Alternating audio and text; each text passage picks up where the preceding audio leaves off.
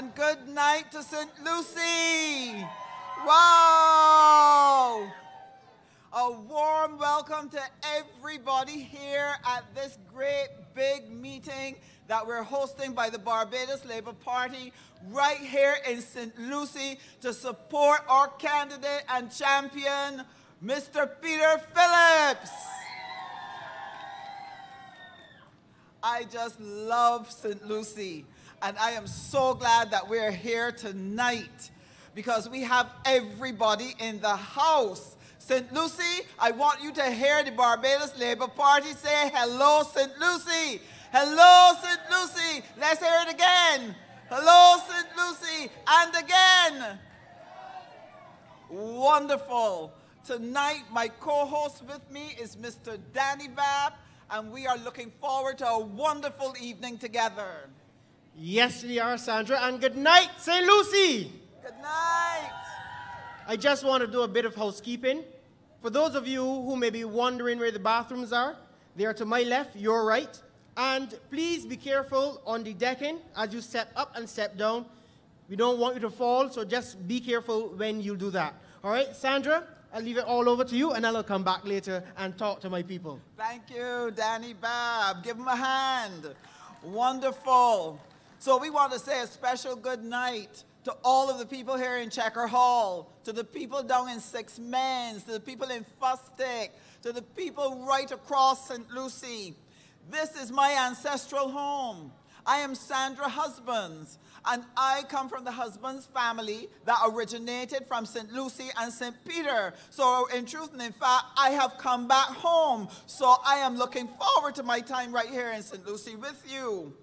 Now, St. Lucy is a very special parish, not just because my roots come from there, but because St. Lucy is the only girl in the Barbados house. And St. Lucy commands the top, the head of Barbados. So we need to big up St. Lucy. Tonight, I want to say to the people of St. Lucy, God is in your house. God is in your house. That God watches over this nation. And this Sunday night, as we were coming up, you were hearing all the churches, people in worship, because God is in the house. And His Spirit is going to raise a flag over this nation and it's going to fly very high right here in this island which we love. I'll tell you something about St. Lucy. I did not grow up here, although my roots are from here. So I came down when we had that great big mass canvas. And we went from place to place canvassing on behalf of Peter Phillips. And let me tell you, if you've never had the privilege of being in St. Lucy, in St. Lucy, what you will find is a people who are warm, a Barbadian people who are natural, a Barbadian people who are unpretentious and sincere. If you want to experience the true Barbadian spirit when you come to St. Lucy, St. Lucy is a place where you feel the heart of the Barbadian person. Because here in St. Lucy, they have a strong, undying love for their nation called Barbados. And that is something that we all share in common as Barbadians.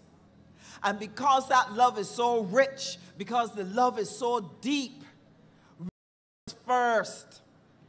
And when we put Barbados first, there's certain things that must happen.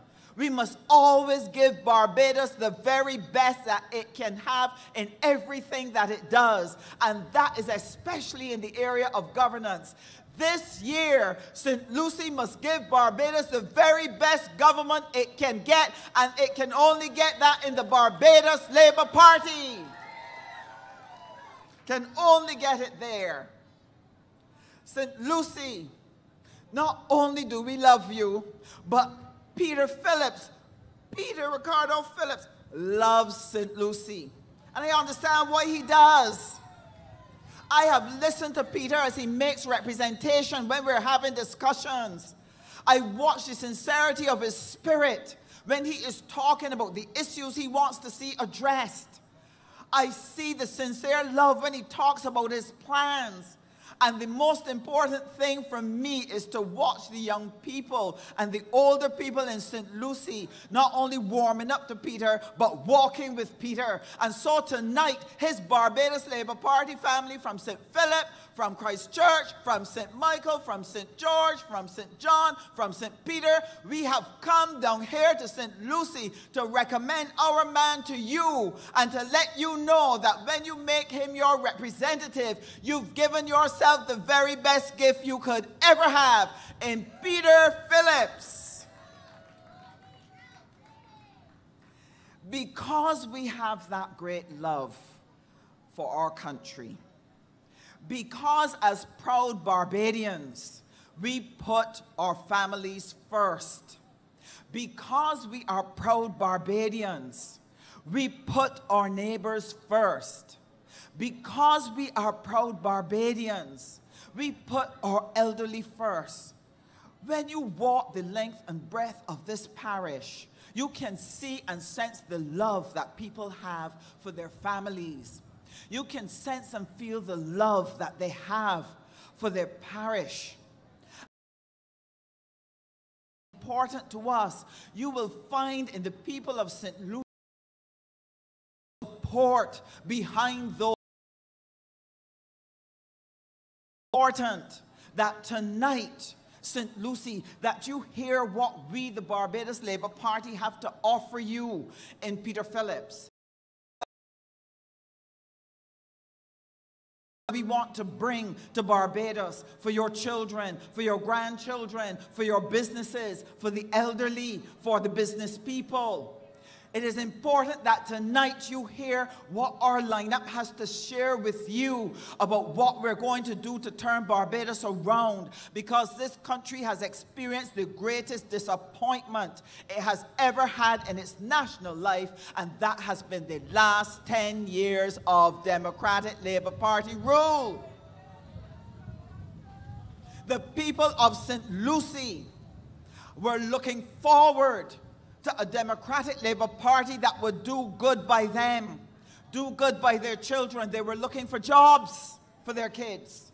They were looking for housing for their families. They were looking for a lower cost of living in relation to prices so that they can keep meeting their responsibilities. They were looking for good roads. Oh my goodness, on my way up here, we suddenly came around a corner and we had to choose which hole we were going to drop in. We had to try to see which one was going to do the least damage. One that would break up the rim or one that would just burst the tire. We had to opt for bursting the tire. So we need to see things like roads here in St. Lucy. So these are the things that as Barbadians we have been looking forward to from a government.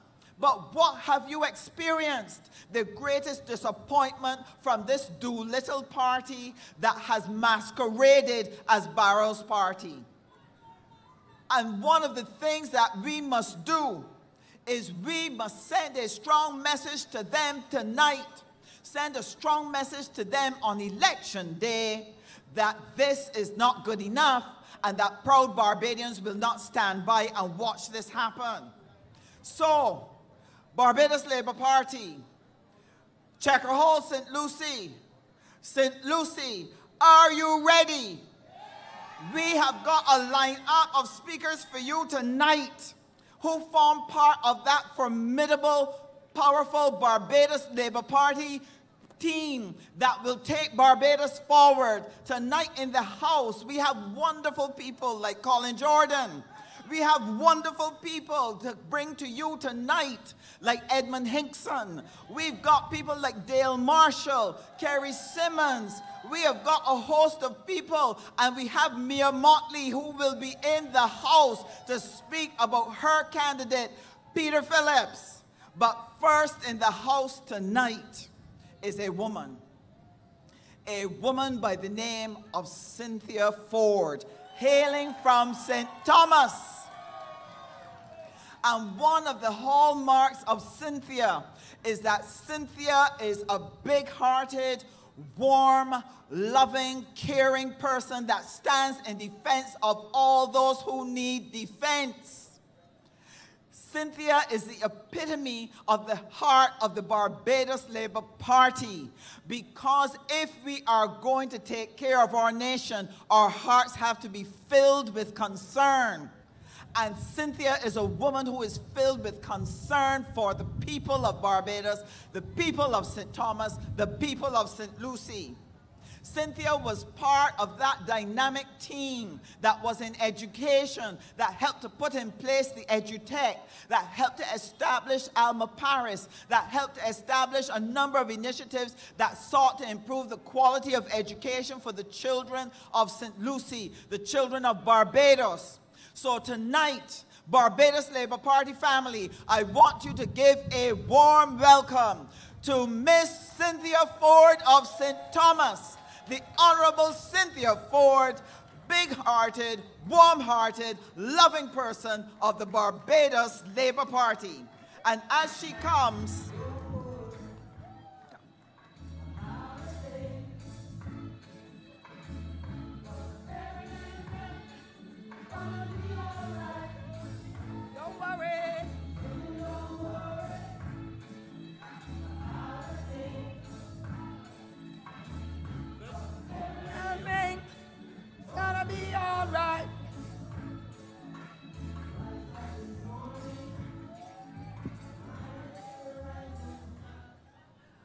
Good night to the Barbados Labour Party family, particularly the folk of St. Lucy.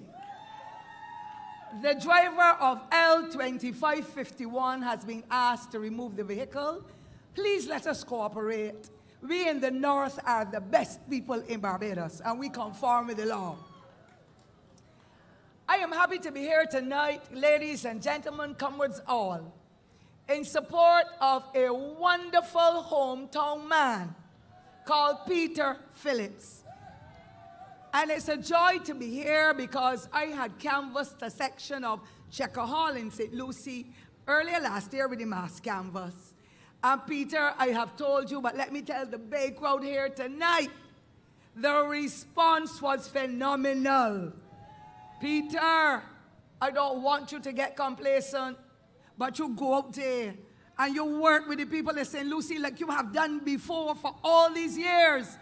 Rupert, son, I am begging you, unless you save St. Lucy, I do not know what will happen with the only female parish, according to Kellman. I had a look at a manifesto of the past. And it said the purpose of any election is to choose a government to manage the affairs of the country for a fixed period of time. Do you agree? Good management is not merely a question of caretaking or housekeeping. It concerns the mobilization of the human and material resources of the nation and a redistribution of it, wealth, of its wealth on the principle of the maximum social advantage. And this is a little paragraph from a 1976 manifesto. I want to tell you, ladies and gentlemen, and you're feeling the pinch yourselves. The purpose of the 19, of the 2018 general election is to choose a government that can manage, and the Barbados Labour Party can do it better than any Democratic Labour Party ever has in its history. I want you to know, Lord Comrades all, that we had a set of millennium goals. And this was international. Where one of the major goals across the world was to eradicate poverty. To let us continue to promote universal primary education. Listen to number three promote gender equality and empowerment of women. And I took number six, ensure environmental sustainability.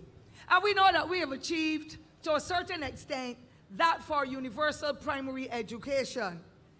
But this Democratic Labour Party that both the father of education and independence and is in shambles. And you, the poor people of St. Lucie, are it comes to tertiary education because with his cabinet, that tuition fee. I condemn what they have done, and I'm sure you do too, because individual who would uplift that household and bring that family out of poverty.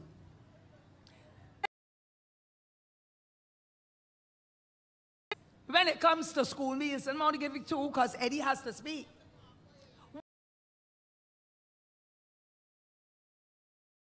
People have lost their work. All grannies have, and granddads have had some of their pension taken away. The cost of living is so. Lucy is feeling it too. Your member of parliament agreed to those changes that are now impacting on you, on your health. But it is the first time in my life that I've seen a prime minister so much under pressure from his colleagues, he cannot even identify a deputy prime minister. For the last seven years, no deputy prime minister, the eager 11 has him on his toes. And he does not want to admit, but it is a fact. When Mr. Thompson, now the late right um, um, Honorable David Thompson, did not include the member of parliament from St. Lucy in his cabinet, I did throw a little insult at him and told him, you're unfair, poor Kelly Kelmanomics. Big Jinx Thompson read him better than me or any of you. He left him out deliberately because he perhaps could not imagine that that short man, and I'm not saying that in a derogatory way because sometimes short men real nice and sweet. But the point I'm making is the man has an element of arrogance and ignorance too. And tries to contribute to everything that does not even call to him when he's out of his depth. So for you to get another member of parliament in Kellman again and give him another term, having been here for a quarter of a century almost, I have a problem because for a member of parliament to tell the rest of the world with the video that 20% is more than 80, you need a member of parliament in Peter Phillips. You need a member of parliament in Peter Phillips because he has the common sense, he has the banking skill, he has the community life, he has everything under his belt to make your life better. What has Kellman done for you recently here St. Lucy? I would really love to know. You know, there's a saying a small leak will sink a great ship. Well, Freundel got so many leaks in his ship. Captain, the ship is sinking. Let the Barbados Labour Party carry this country forward because investors will start to invest again. Barbadians will get jobs again. Barbadians will enjoy a life that is different. We will turn around the Queen Elizabeth Hospital as Liz Thompson did. We will get your garbage picked up as we did before and buy some trucks too. We will get you some transportation through the transport board and other resources, bring you home, get you to your work, get you to school on time, and to bring you in safely. And above all that, you got a minister of housing and rural development. Rural development consists many of us in rural Barbados, not only in the north, but in the east and in sections of the west and so. And your member of parliament is sitting large and in charge, and rural is doing little or nothing. Let me tell you, ladies and gentlemen, before my time goes up, that the Barbados Labour Party established the Rural Commission, Development Commission and the Urban Development Commission we saw houses repaired, new houses built at a cost that was commensurate with the quality house that was being offered.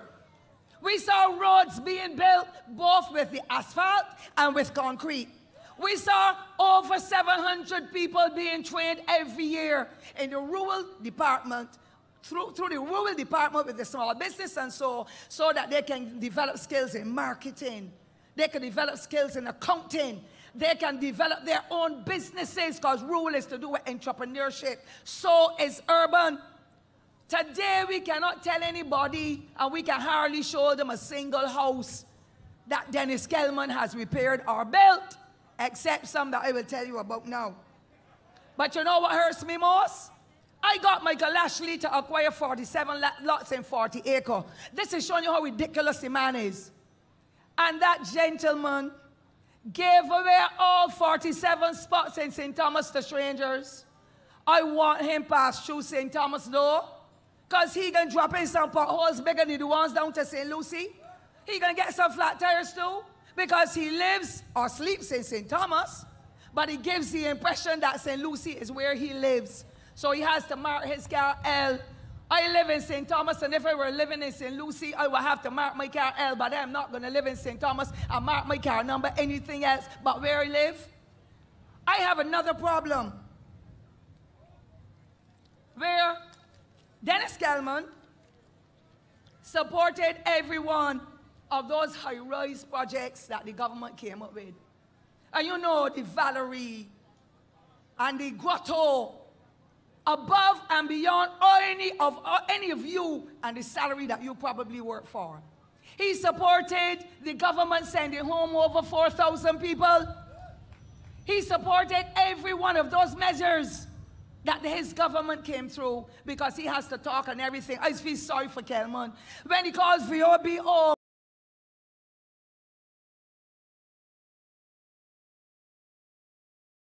the ability, and the tenacity to carry St. Lucy forward. Kelly is a village man, and they expected him to treat Lucy, that female he talks about, even better. But you know what else? He was responsible for the housing neighborhood uh, upgrade program, a program that has $60 million in it. I went, um, Michael Lashley left. He was the person to carry out that program, a six year period with that $60 million for Cass Castle, the Garden Land, Allen View, and Greenfields, where very impoverished people live and they needed to get the houses repaired. They needed a little sewage system. They needed some employment. The project of 60 million Barbados dollars had it in. You know what? Kellman did not function. The Democratic Labour Party did not function of an amount of $47 million was sent back to the IADB because they did not meet the six-year conditionalities. And the people in Castle, the people in Greenfields, the people even in St. Lucy's, got, St. Lucy, because some of you all could have had a $10,000 amount to help to upgrade the roof of your house or to build on a little extra bedroom. You did not benefit your member of parliament sat and was to have presided over it and that money went right back to the IADB. You need a member of parliament who cares for you. Peter Phillips from the Barbados Labour Party will make the difference. You need some small loans from rural though. You need some grants. You need some land for leasing for the land for the landless. Have you been able to benefit by that, ladies and gentlemen? And your minister had almost seven years to do that for you. If he did not do it in seven, and he has been there for such a long time, four or five consecutive terms, when will he do it? When he is a century old? No, Peter Phillips will make the difference because he has the capacity to do it. They tell me that he has repaired a wall house. The rules plans are it must be a wall house, a wooden house, excuse me. A wooden house, you will put in some, change some rafters, change the roof, give a little water on toilet, because that was the mantra of the Barbados Labour Party. Remove the toilets and give poor people a chance to do what they have to, number one or number two, inside of the house, instead of coming out in the wind and the high wind like this. Lo and behold, a house in Strong Bay that is a wall house was repaired for $70,000, seven zero. It could have built two and a half houses. Who here did not get the little old lady, the old man in the wheelchair, can't even wheel it through the house, the flooring so bad. St. See, you're feeling it. We are feeling it in St. Joseph, St. Thomas, St. Andrew, St. James, St. for you. A contractor, contractor complete a wall house at mile and a quarter $65,000 and now it was going to cost 100,000 to complete it. A wall structure. That is madness. That an SRL building that rural development is renting, They moved from the Omni Center there in Speightstown, accessible to rural people, and he's so sensible he put it in urban Barbados. And you know what? That used to be, I understand, just over $7,000 per month for the rent. You know how much they're paying for it now? Out of the taxpayers, and you get sent home. Your money got cut. You haven't got any salary increase. Your family have lost the pension of the two they were getting. $66,000 a month for the Omni Center and $18,000 for electricity in that building. Your member of parliament has presided over that. In mid 2016 17, that rural electrification board that should give you a street light, that should give you a light pole if you're too far from the road, you don't have the funds, owed by the government $300,000. I hope they have paid it because you know what? The Labour Party is looking fairly fruitful in coming to, get, coming to be government again. But I don't know who me team will manage it if they do, and I believe we will because of the standards that we uphold and because of the capacity of our 30 members, or I shouldn't say members of parliament yet, our 30 members who are candidates who have the vision, they have the know-how, they have the commitment, the governance model is there, the Labour Party will turn that around. I also want to talk about those small business people in rural who would help to build the houses and they stockpile the windows and the doors and so on. As soon as this government came in, those people still have the toilet bowls and the windows and so on their hands, unceremoniously removed because they felt they were BLP supporters. I am tired of Barbados being divided down the middle like some of our Caribbean islands, where if you wear a different color shirt than here tonight, somebody ready to pull up your jugular. It is madness. That Democratic Labour Party has tried that, but you are a more civilized people. You love your people, whether they're B's or D's, because at the end of the day, we have to live here together. Now I'm going to come closer to my ending.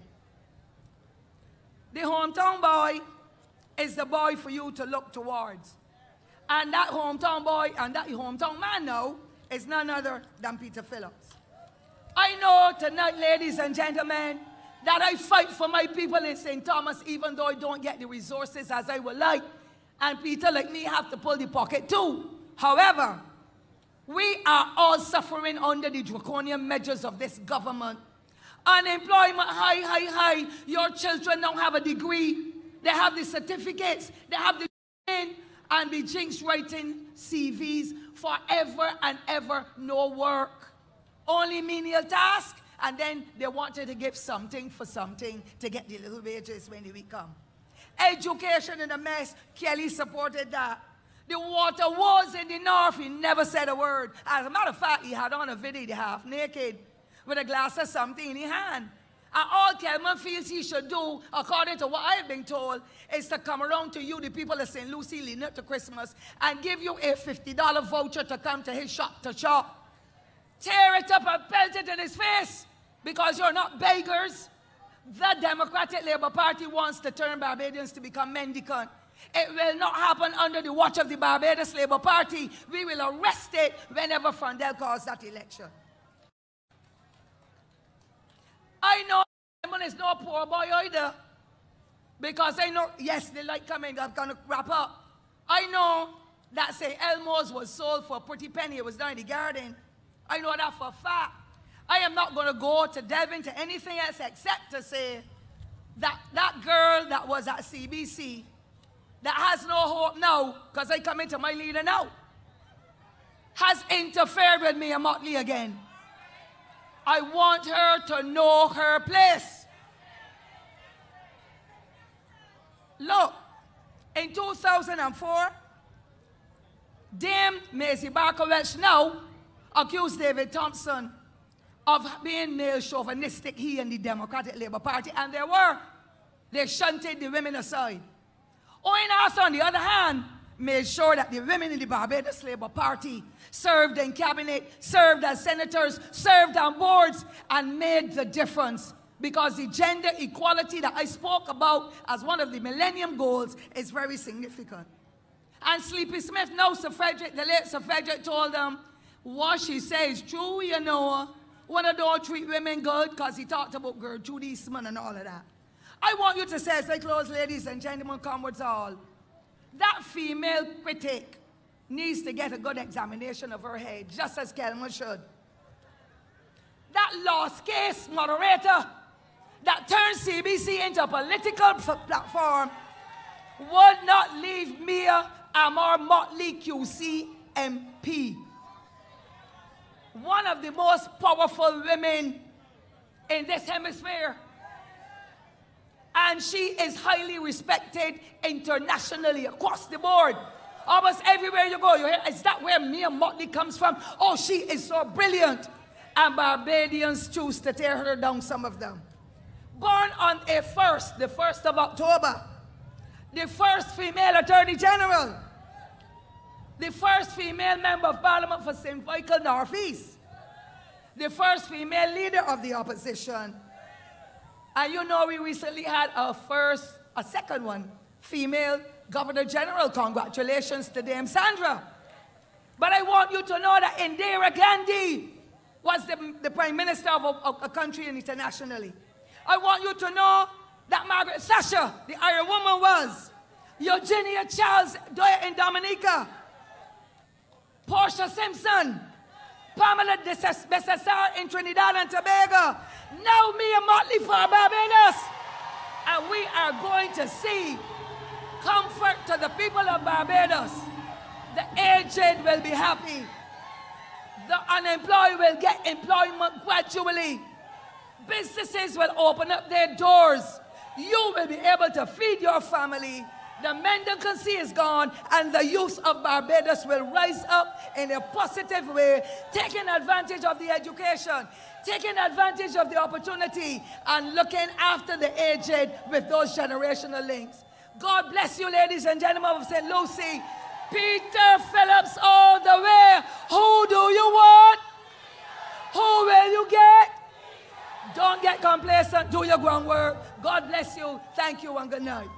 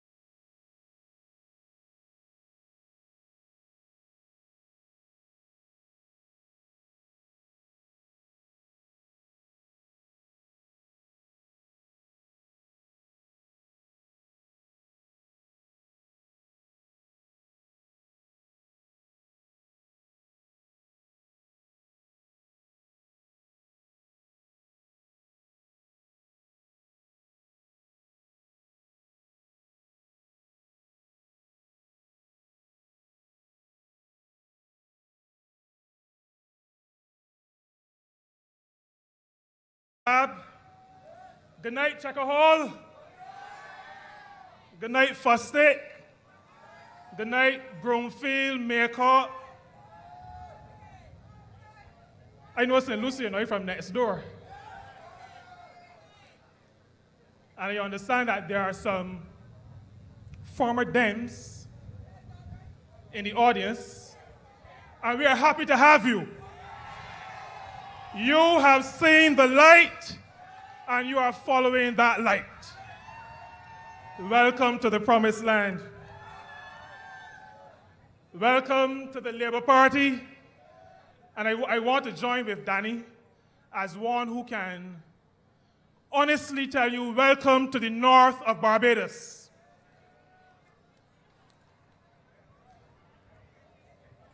I have a very personal interest in this fight in St. Lucy.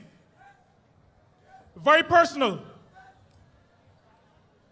My wife is from Checker Hall, right here. I have in-laws all around here. I met my wife in St. Lucy.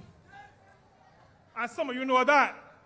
But a lot of you don't know that my father met his wife in St. Lucy. I have a love affair with St. Lucy. And so I have a very personal interest in seeing Peter Phillips being elected as the member of parliament, the real, real representative for the constituency of St. Lucy. You know, I really want you, the people of St. Lucy, to vote for Peter Phillips so that we together can walk up the steps of Parliament and do the business of rescuing, rebuilding Barbados. The Dems, aided and abetted by Denis Kellman, I think Peter Phillips calls him Mick Kelly or something like that. They have presided over the destruction of Barbados. St. Lucy has sent this man for more than 20 years as their representative, as your representative.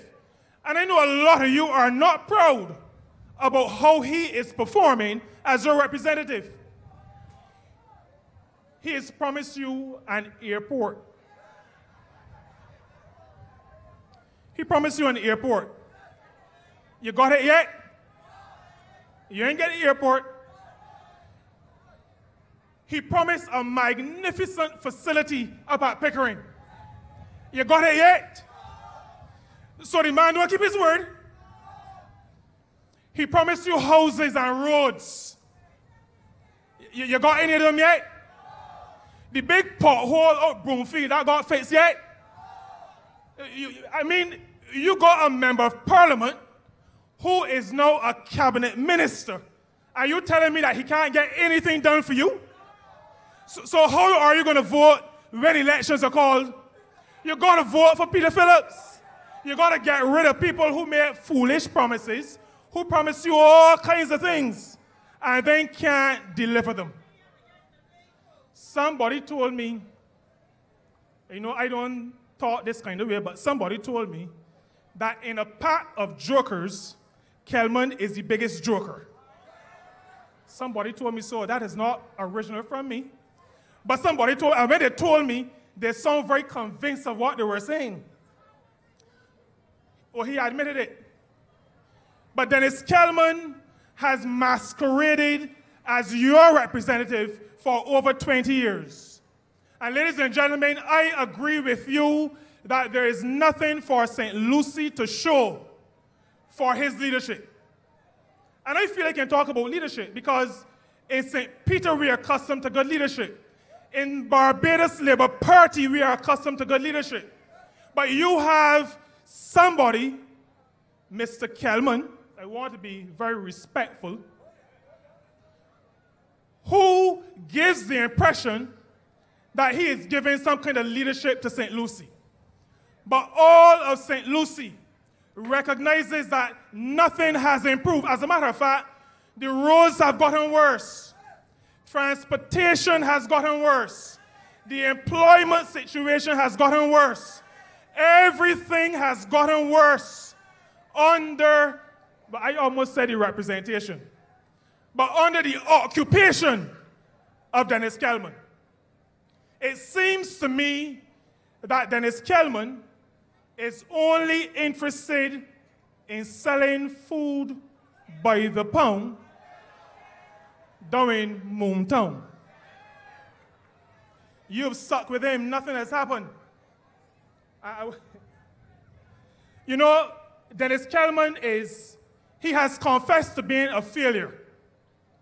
He has confessed because he has said to us, and he said to you, that he wanted to be elected so that he can get the airport, so that he can get Pickering going, so that he can improve the roads, so that he can get houses built. And after over 20 years, after more than eight years as a, a cabinet member, a minister of the crown, he has not been able to deliver anything that he has promised. Denis Kellman has failed the people of St. Lucy, and you have to get rid of him. But what does Kellman do? Spend all his, well, the time that he doesn't spend at Moontown, he spends on Facebook. And you know, at a time when people in St. Lucy, as well as people in St. Peter, at a time when people are suffering because they can't get water, water to drink, water to bathe, water to give their, their, their animals. At a time when people can't get water to clean their homes, Denis Kellman goes on Facebook, says that water is flowing through his taps. He is drinking his fourth glass of water. I was having breakfast and I realized that when I was watching it, he was actually half naked. I almost choked on my vomit. But that is the kind of person who you have representing you. And I want to tell you that as Minister of Housing, if Denis Kellman's head was an apartment, he would have to rent it out as unfurnished. There is nothing at all in it. And I'm not saying so because I don't like him. I am saying so because the evidence shows that there's nothing in it. Nothing at all. You, the people of St. Lucy, need at this time more than ever to elect a representative who has something between their ears, who can contribute to the development of St. Lucy and the development of Barbados. While Kellman is selling food, Peter Phillips is out donating and delivering food to the needy people in St. Lucy. You want a representative who cares about people. You want a representative who loves people. You want a representative who wants to see people develop and grow you want a representative like Peter Phillips. And I'm asking you to vote for him and to support him as he embarks, as he continues this journey to represent this great northern parish in Barbados. I have to confess to you that there's one thing I do not like about Peter Phillips. And I don't want to say it too hard, but every year I go to the, you know, there's the Parish Independence Committee and the Parish Independence celebrations. And every year I go to the Spirit of the Nation show. And I have to tell you, ladies and gentlemen of St. Lucy, the thing that I really don't like about Peter Phillips is that when he is at that show, he gets on as though there's only one parish in Barbados as though St. Lucy is the only parish. I have already told him I don't like him for that. I do not like that. But that is the kind of man who you have seeking to serve you. The man who you have seeking to serve you, St. Lucy, is a man who believes that St. Lucy is the only parish in Barbados. A man who loves St. St. Lucy with all of his heart. A man who wants to see St. Lucy succeed who wants to see St. Lucy develop. A man who, is, who, who remembers. He remembers, and he keeps telling me that the last time St. Lucy was in development mode was when Roy Brathwaite of the Barbados Labour Party was representing this constituency. That was the last time you had decent representation. Peter Phillips wants to bring that representation back. But tonight I want to talk to you a little bit about leadership. I think we have established that Kellman really masquerades as a leader, but he is, he is not really a leader. But you know, just a few couple years ago, I was talking about water earlier. In St. Peter, the people in Boscobel, the people in Indian Ground and Fort Hill could not get water through their taps we spoke to the Barbados Water Authority. We spoke to the minister. None of them would take the lead in allowing the people of St. Peter, the people of St. Lucy, to get something as necessary as water. No leadership. They would not come to talk to the people. They would not give any explanations. They failed as leaders. They failed. They were, you know, you know who took the lead in that water issue? After we realized that the dams and the government was failing in its duty, failing in its responsibility to provide something as necessary as water for the people of the north of Barbados, we in the Barbados Labour Party, we took the lead. We started to call for water, for distribution of water to the people of the North. And you know what? After that, the minister, for the first time, spoke. I know what he said? He started to curse us, to abuse us, simply because we asked for water for water. You know what that reminded me of? Some of the worst people in the Bible.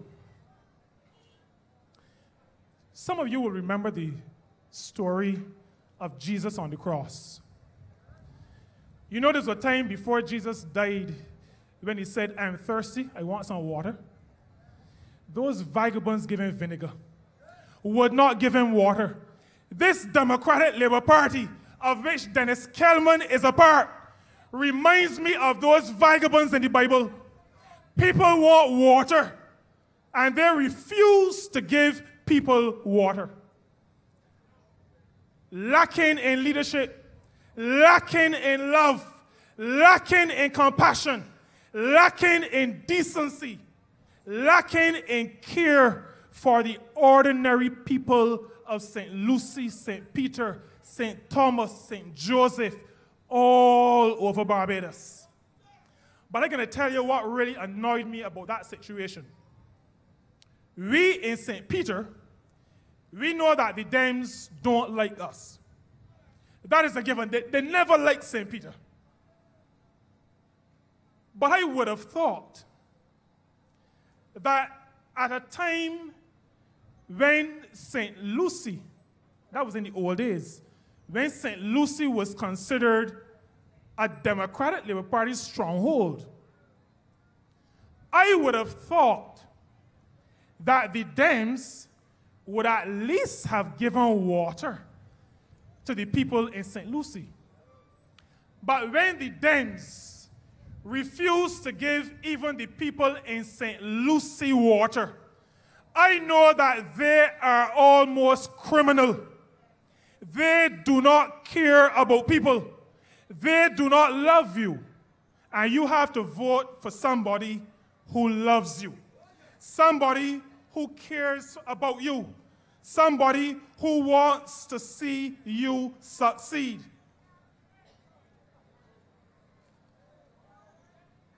Rather than having running water in your taps. the leadership, but I, I, really shouldn't call it leadership. The bankruptcy at the head of the Democratic Labour Party have gone from refusing to give people running water and have now presided over a situation where they're giving the people on the South Coast running sewage. No running water. They can't give you anything clean. They give you feces. When I was growing up, my mother never liked me to call some of these words. She said we should say number two. And the Dems have given you number two. The Barbados Labour Party, under the leadership of Mia Amor Mottley, told the Dems nearly two years ago that the sewage system had problems, that it needed to be fixed. But what kind of leadership did the Democratic Labour Party give to this country? They ignored sensible advice. And rather than deal with the not a leader, we have a prime minister, rather than deal with a serious situation, he was about saying that he does not want to go out with Mia Mottley. But Mia does not want to go out with him either. Mia likes to talk. And Mia wants to go out with a person who can converse, who can talk. The Prime Minister doesn't fit that bill. He doesn't fit that bill. Ladies and gentlemen of St. Lucy, I came from next door with a simple message. The light is on, the light is flashing. They tell me at horse racing when the light starts to flash, it means it's time to start. But you're not talking about the Prime Minister. Some years ago, I had to attempt to wake him up. I was leading the Barbados Hotel and Tourism Association, and we tried to say to the Prime Minister, we have issues that need to be dealt with. Couldn't get an answer. Couldn't get an answer. And I want to say to you that the Barbados Labour Party, of which I am a part, is a party that is prepared to call out even the Prime Minister if the Prime Minister is not acting like a Prime Minister should. Mia Mottley is the kind of leader who can rescue and rebuild Barbados working with the Barbados Labour Party. Mia Mottley cannot do it alone. She wants people like Peter Phillips, to be part of that team. She wants you to do what is right when the elections are called and vote for Peter Ricardo Phillips to be your next representative. Peter Phillips will change St. Lucy. The Barbados Labour Party will change Barbados. We will rescue, we will rebuild. I am asking you to vote for somebody who loves you, Vote for somebody who has compassion. Vote for somebody who has common sense. Vote for somebody who wants to assist in the move to rescue, rebuild Barbados. Vote for the Barbados Labour Party. Vote for Peter Phillips. Vote for Mia Amor Mottley when that day comes. Good night, ladies and gentlemen. God bless all of you in St. Lucy.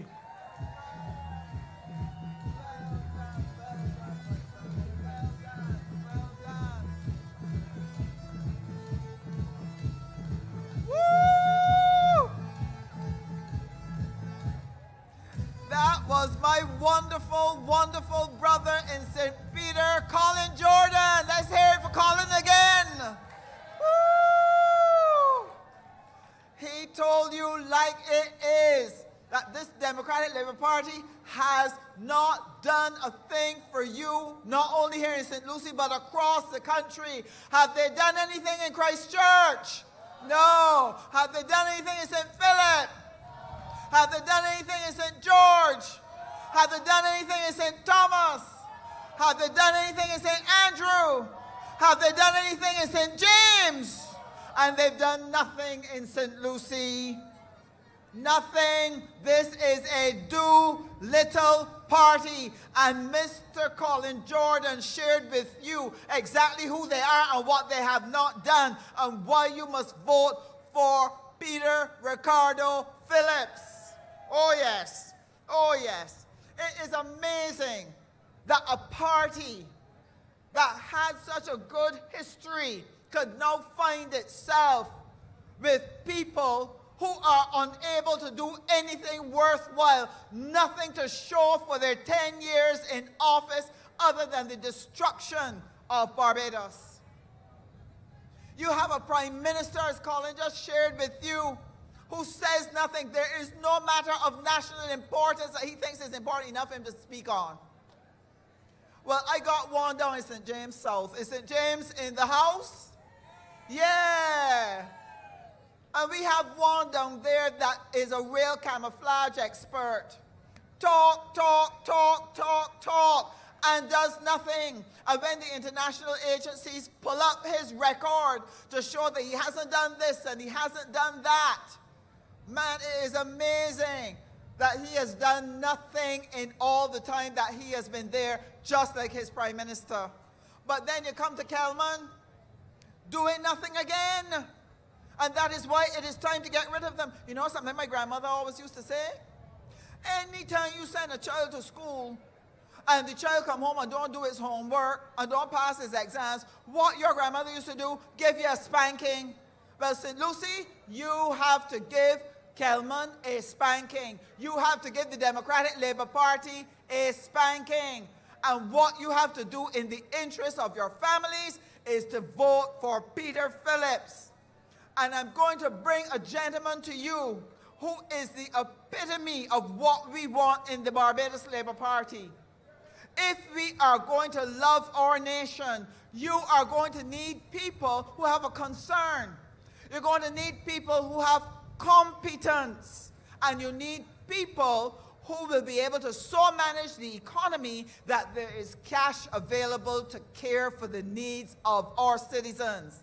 And tonight, I want to bring Mr. Edmund Hinkson. He is a solid man.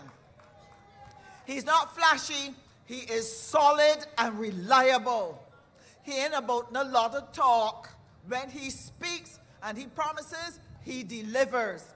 He is a man that has not waited to get into political office to try to start playing. He's doing something for Barbadians.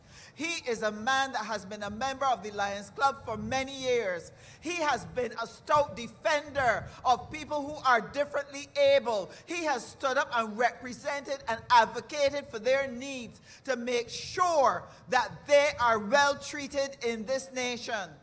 So when he comes to speak to you tonight, he's coming with a background that you can trust, somebody that we must ask the people of St. James North to put in again. And he is going to share with you what he admires about Peter Phillips and why you should vote for him and why you should vote for the Barbados Labour Party. Put your hands together and welcome Mr.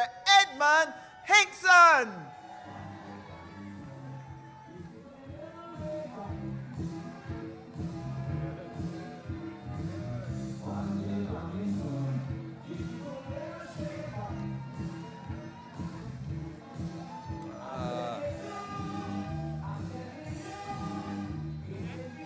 Them got the music let me talk.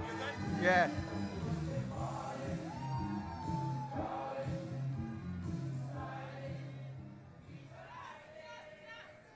Good night, the good people of St. Lucy and wider Barbados, and a special welcome, of course, to the people from St. James North, constituency to which I owe my present political and my future political history.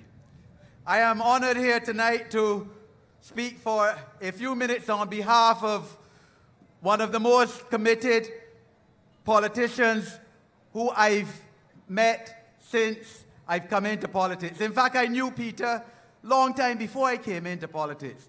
His father and my father, both stalwarts of the Barbados Labour Party, were good friends.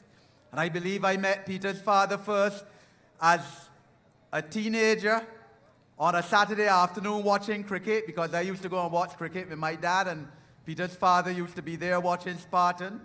Peter comes from tremendous stock. He is someone with the passion, passion for people.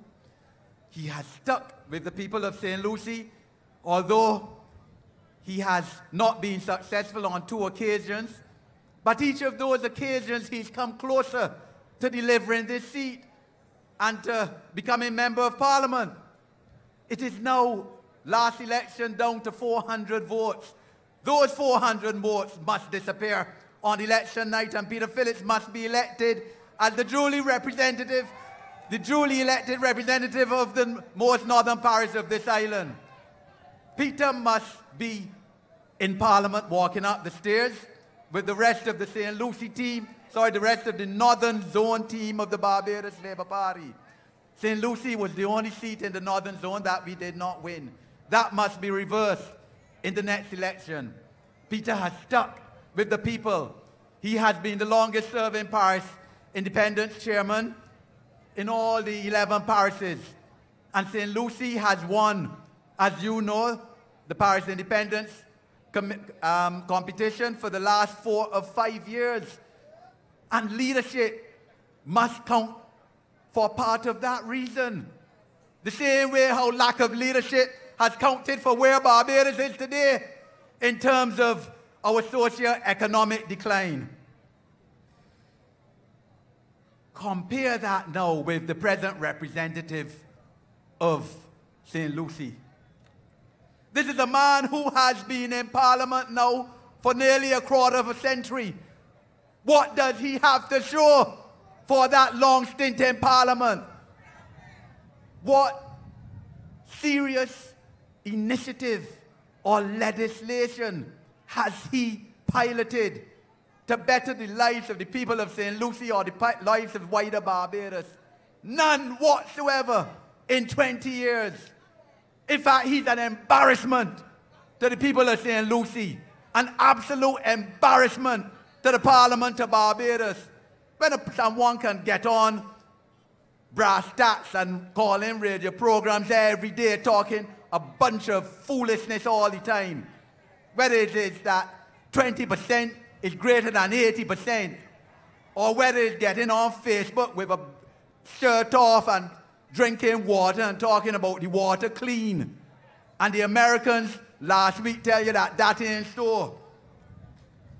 Whether it is telling Barbadians to take the money out of Sagicor, one of the leading, not only Barbadian companies, but regional companies, a company that has branches in America, in England, international company, of which Barbados should be proud, a company that in fact has lent the government of Barbados money to pay salaries. And he gets and talks about Barbados should take the money out of Sagicor just because Sagicor moved one of its subsidiaries out of Barbados as headquarters because of the 21 successive economic downgrades brought about by the mismanagement and incompetence of a government, of an administration of which he is part. And the head of Sagicor having to call in on the radio program immediately and saying that he will be writing the Prime Minister about this representative. What madness is he talking?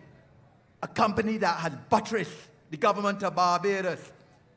But that doesn't surprise me because, you know, you are free to disagree with someone. Children disagree with their parents, brothers disagree with their siblings. We all choose to disagree, but you should be able to follow the logic of someone's argument even though you disagree with them. And for the life of me, I cannot follow the logic of this man's arguments or contentions. They're so illogical, they make absolutely no sense to anyone of human nature. What has he stood for in his 25 years almost as a parliamentary representative? To enter politics, to be a politician, I contend that you must stand for something. You must feel that you can shed blood and die for something. People with disabilities, I will die for them. I stand for that. Not only now, for 25 years, I've been fighting the cause for the advancement of people with disabilities. He should be fighting that too, because disabilities is close to him. But he doesn't do that. Never did that yet. He has been a failure as a minister. Failure, complete failure as a minister of housing. The staff of the National Housing Corporation being cut in almost half. Almost 50% of people dismissed from the National Housing Corporation with him presiding as minister in 2014.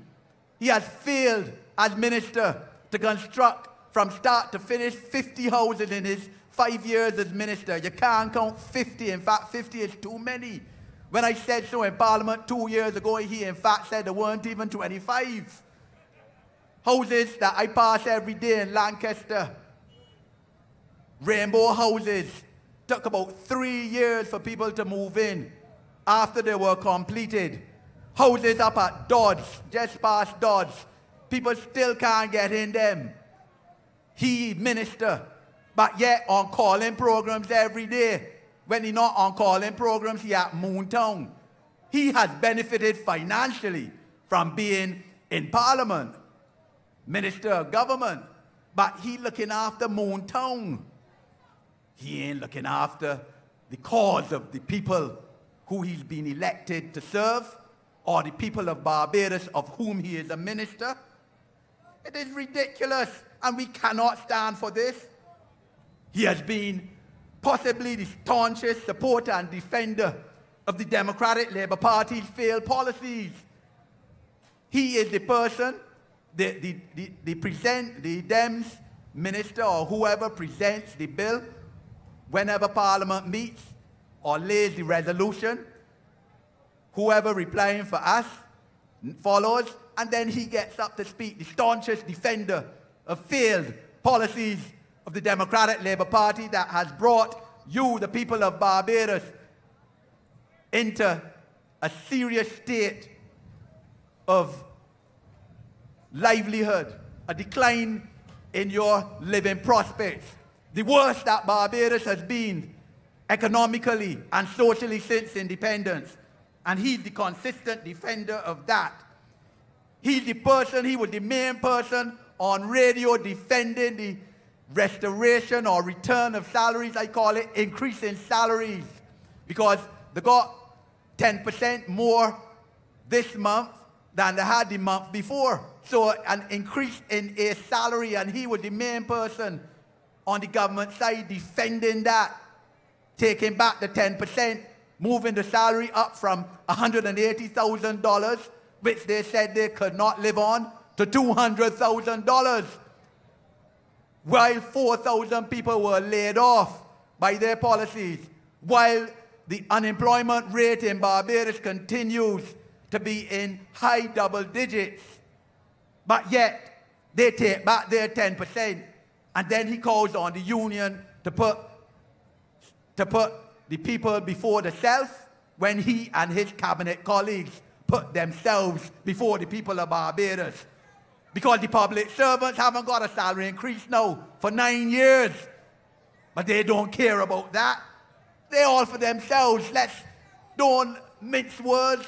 Don't mind the rhetoric. The Democratic Labour Party does not care about you, your mother, your son, nor your grandmother. Don't get tied up about that. But this is the man.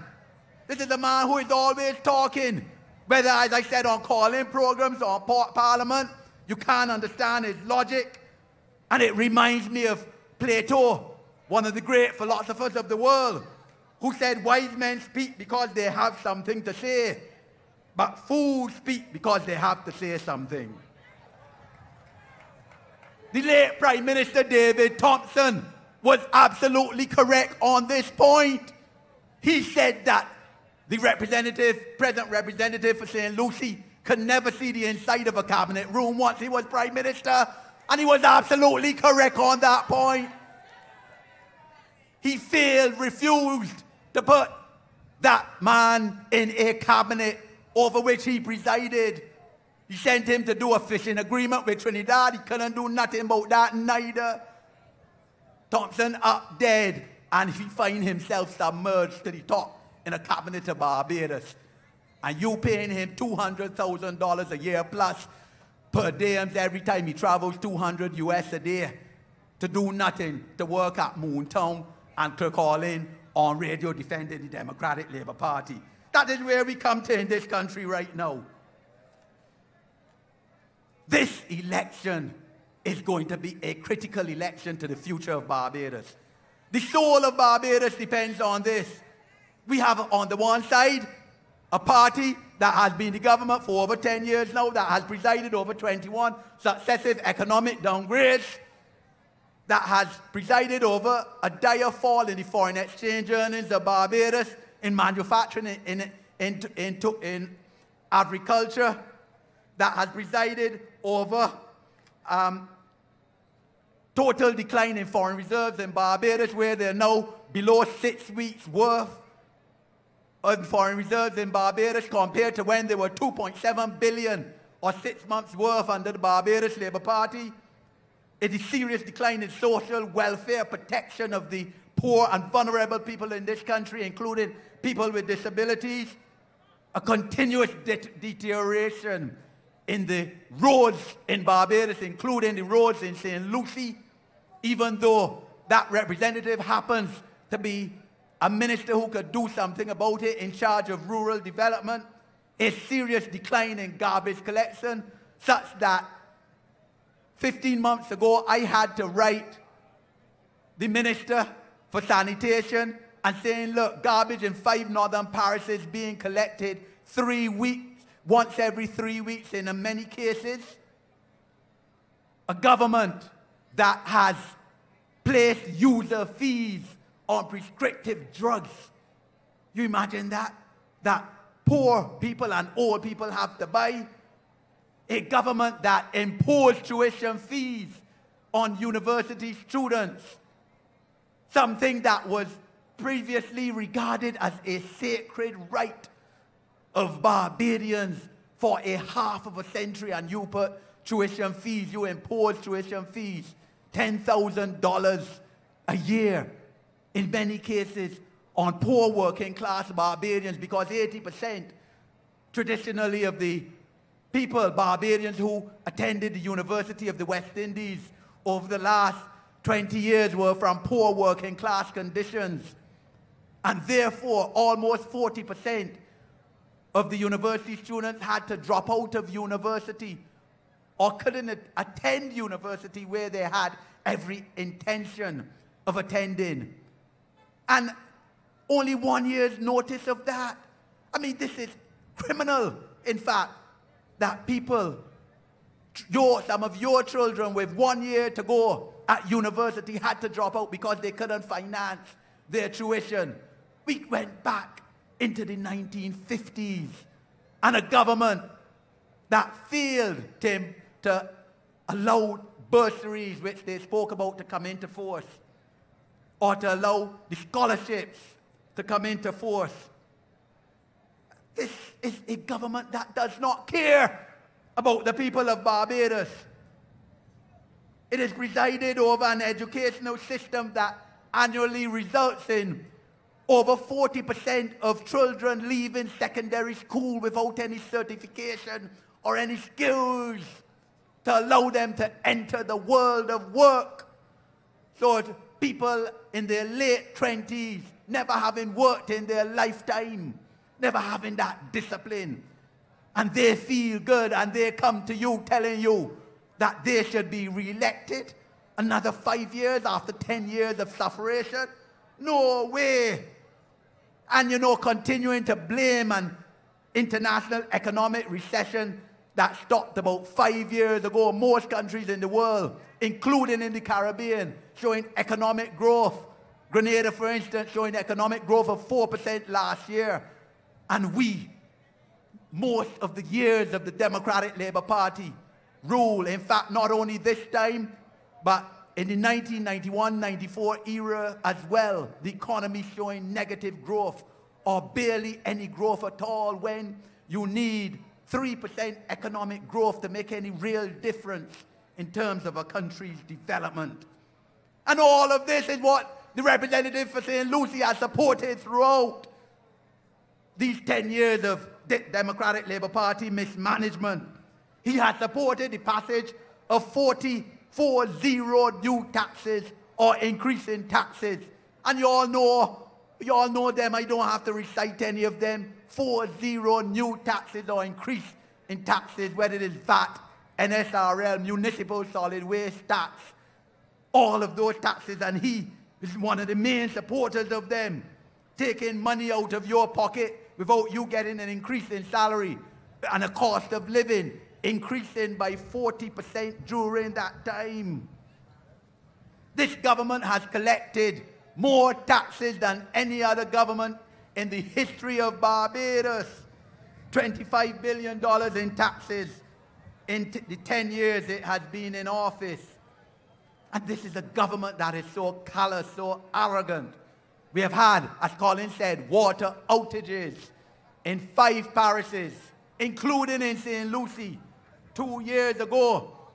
And the minister in charge of water resources, the prime minister, not visiting any of those parishes to empathize with the people. We've had a sewerage crisis going on as we speak, and hardly any word from the minister in charge of water resources. A bare umph from the prime minister last week. And, you know, Lee Kuan Yew, one of the leading political leaders in the last century, spoke about a government is a, a good government is a government which is honest, which is effective, which is efficient in protecting its people and in allowing opportunities for all to advance themselves. This Democratic Labour Party government has failed in all the categories. The Barbados Labour Party, on the other hand, plans to remove tuition fees imposed on university students. We plan to remove the iniquitous NSRL tax. We plan to implement integrity and prevention of corruption legislation. We have a draft published already asking for your comments. We, the Democratic Labour Party, never intended, in spite of its promises, to implement anti corruption or integrity legislation. The Prime Minister, in fact, said that the present 1929 Act is good enough for Barbados. The Attorney General said that people who call in for anti corruption and integrity legislation are making stupid noises. But we understand that corrupt practices are a serious indictment on a country, a serious problem. We have fallen on the Transparency International Corruption Perceptions Index. Four places from 2012 to 2016. Sorry, we have fallen 16 places from 15 to 31 in four years between 2012 and 2016 under this government. This represents corruption, a serious problem and a serious obstacle on the socio-economic development of our people. But keep hope alive, people, because we have Mia Amor Mottley leading us. No one has come to you with more experience, with more training, with more knowledge, with more background than Mia Amor Mottley to be Prime Minister of Barbados. She's been Deputy Prime Minister of Barbados for five years. She's been a Member of Parliament for 27 years. She's been a Minister of Government, major ministries, education, economic development, Attorney General for 14 years. See, no one out of the 30 of us, indeed, no one presenting themselves as candidates in this election are better able to articulate and to implement a sound vision for the future development of this country over the next 10 years than Mia Amor Mottley. She has behind her a top team, in my opinion, the best 30 candidates, the best team of candidates ever to present themselves to the people of Barbados for election as your servants is this Barbados Labour Party team. But you have to help us. We will help you. But you need to help us by going and vote in your numbers. We need this seat. We must have this seat. We need Peter Phillips with us. Someone with integrity, commitment, passion, someone who understands the banking system, the financial system. We need Peter. He will be an asset to the government of Barbados, and we need all hands on deck. This is going to be challenging times. We need your support. I thank you.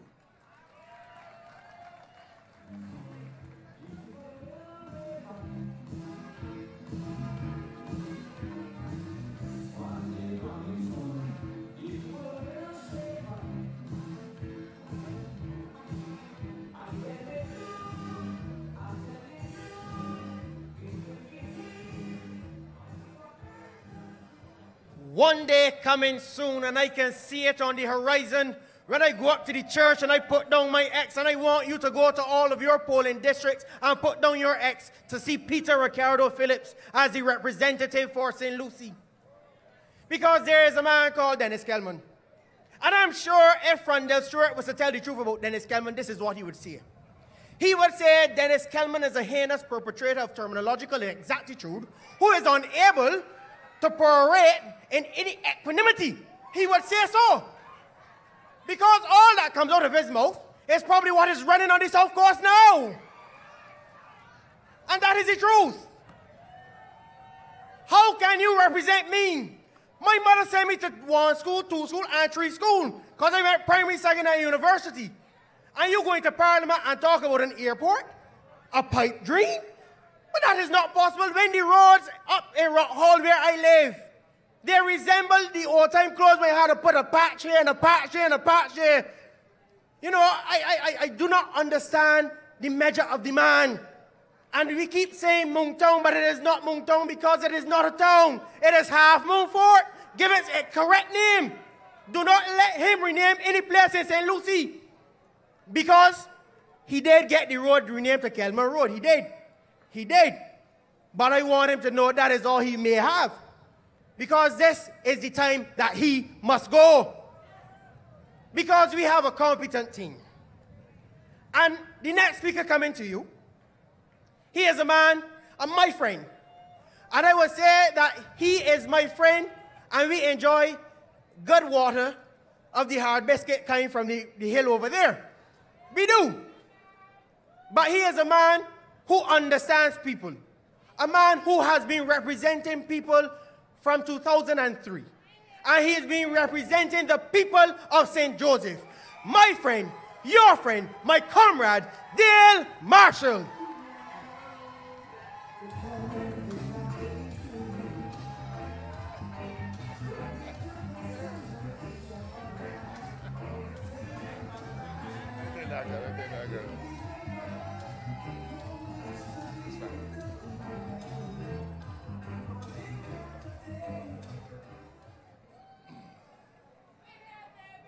Good night, good night to St. Lucy. Good night to my friends from St. Joseph who came all this way through the rain. And good night to all of the Barbados Labour Party family. Good night to, take off the hat, your hat off. Good night to all of you who have come out to hear the message that we have to present to you. I am standing on a platform in Checker Hall, St. Lucy, but it could have been any place in Barbados.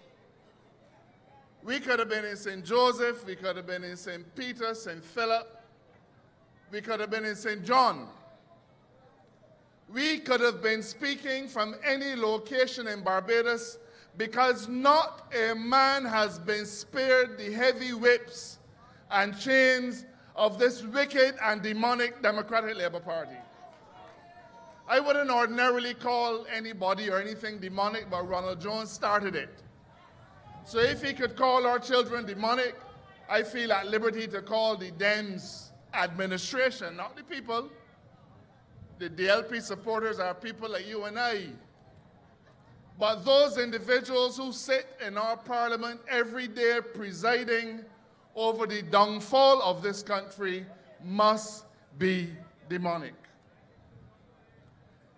somebody, a former prime minister of this party,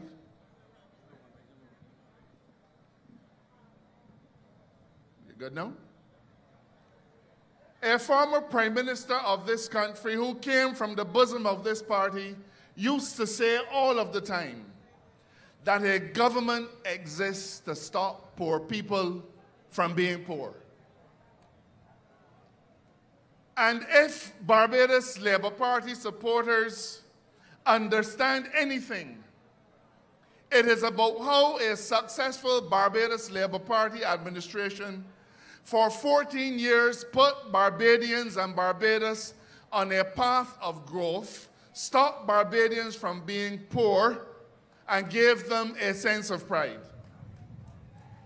But in 10 years, all of that has been wiped out completely wiped out. I am embarrassed to know that a man named Freundel Stuart came into St. Lucy last Sunday night. He went to church in St. Lucy last Sunday night. And what was reported in the newspaper was that he told the Democratic Labour Party following in that congregation that the Dems have nothing to be ashamed about. Can you imagine that? Can you imagine that Freundel Stuart, who has presided over 23 downgrades, who has presided over the Cahill scandal, who has presided over a South Coast scandal, who has presided over the pauperization of Barbadians, who has presided over a state of affairs where we have more potholes than we have road, who has presided over a country that is now the laughing stock not only of the Caribbean but of the world, how could he tell the Democratic Labour Party following that they have nothing to be ashamed of? You know, Barbados was in a state of prosperity and development throughout the 90s and for the most part of the 2000s. Team in Parliament that felt that was designed or even about them. but them, Lucy the Barbados Labour Party constituency, and for 30,000 jobs for a BLP support inclusion meant that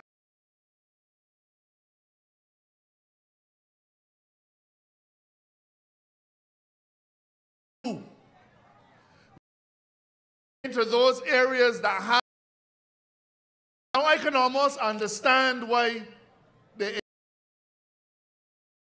because they say St. Joseph belonged to the Labour Party, so we can left them roads to rot there. I could understand why they would ignore St. Andrew. Because St. Andrew, they will say, got a Barbados Labour Party MP. And St. Thomas and St. Peter and St. James for the most part. But I do not understand how the Democratic Labour Party could decide that they're going to neglect Kelly. It makes absolutely no sense to me. I understand the neglect of us in St. Joseph because that is spite. They practice the politics of spite. So they will spite the people of St. Joseph and rejoice in the fact that we don't have water. Up to this week, places in Bowling Alley have, did not have water for three and four days. Up to this week. And they're rejoicing that because they say St. Joseph belonged to the bees. But St. Lucy does not belong to the bees. Denis Kellman, Edmund just told you, represented this constituency for 23 years. And the only thing that Denis Kellman can point to is a. Now, I understand that Moontown does a bustling business with an internet cafe a hardware store, a grocery store, a restaurant, and a sports bar, all of which are owned by Denis Kellman. Because in his mind, the development of Denis Kellman is equal to the development of St. Lucy. I heard him say so.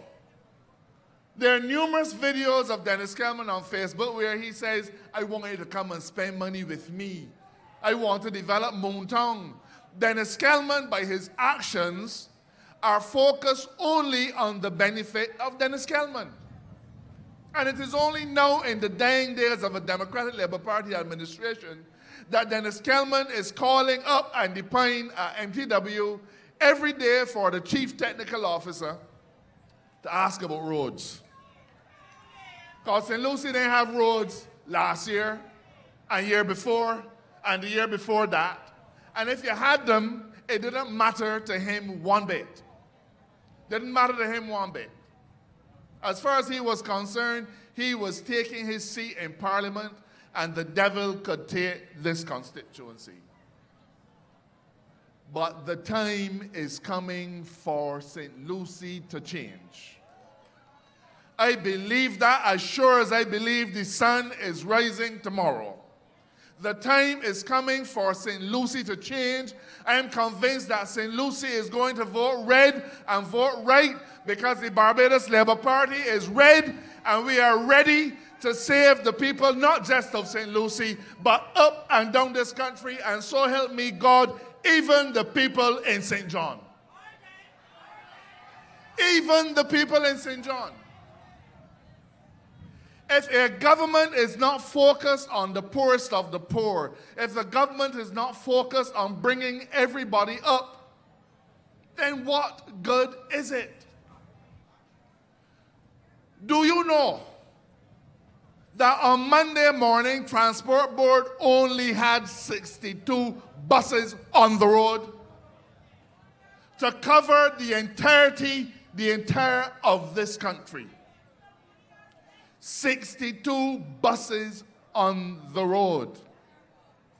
They have not bought a bus since we, they have not bought any. The last buses were bought when the Barbados Labour Party was in government. So if you are one of the lucky people in St. Lucy to have a job, we're going to finish this meeting a little early so you can start walking because you can be sure there ain't a bus to carry you to work tomorrow and the people in St. Joseph's get no bus.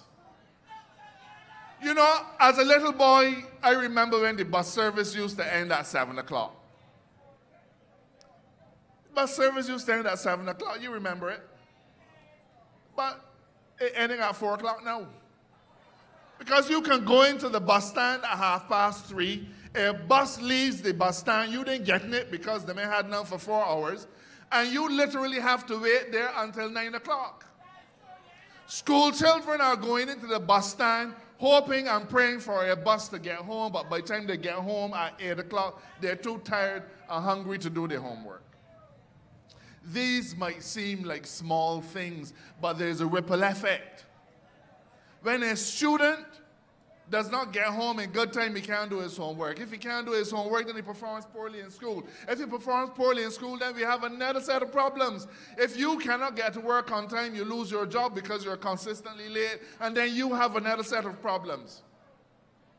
But Denis Kellman has the gall to say to you, I want your support, St. Lucy.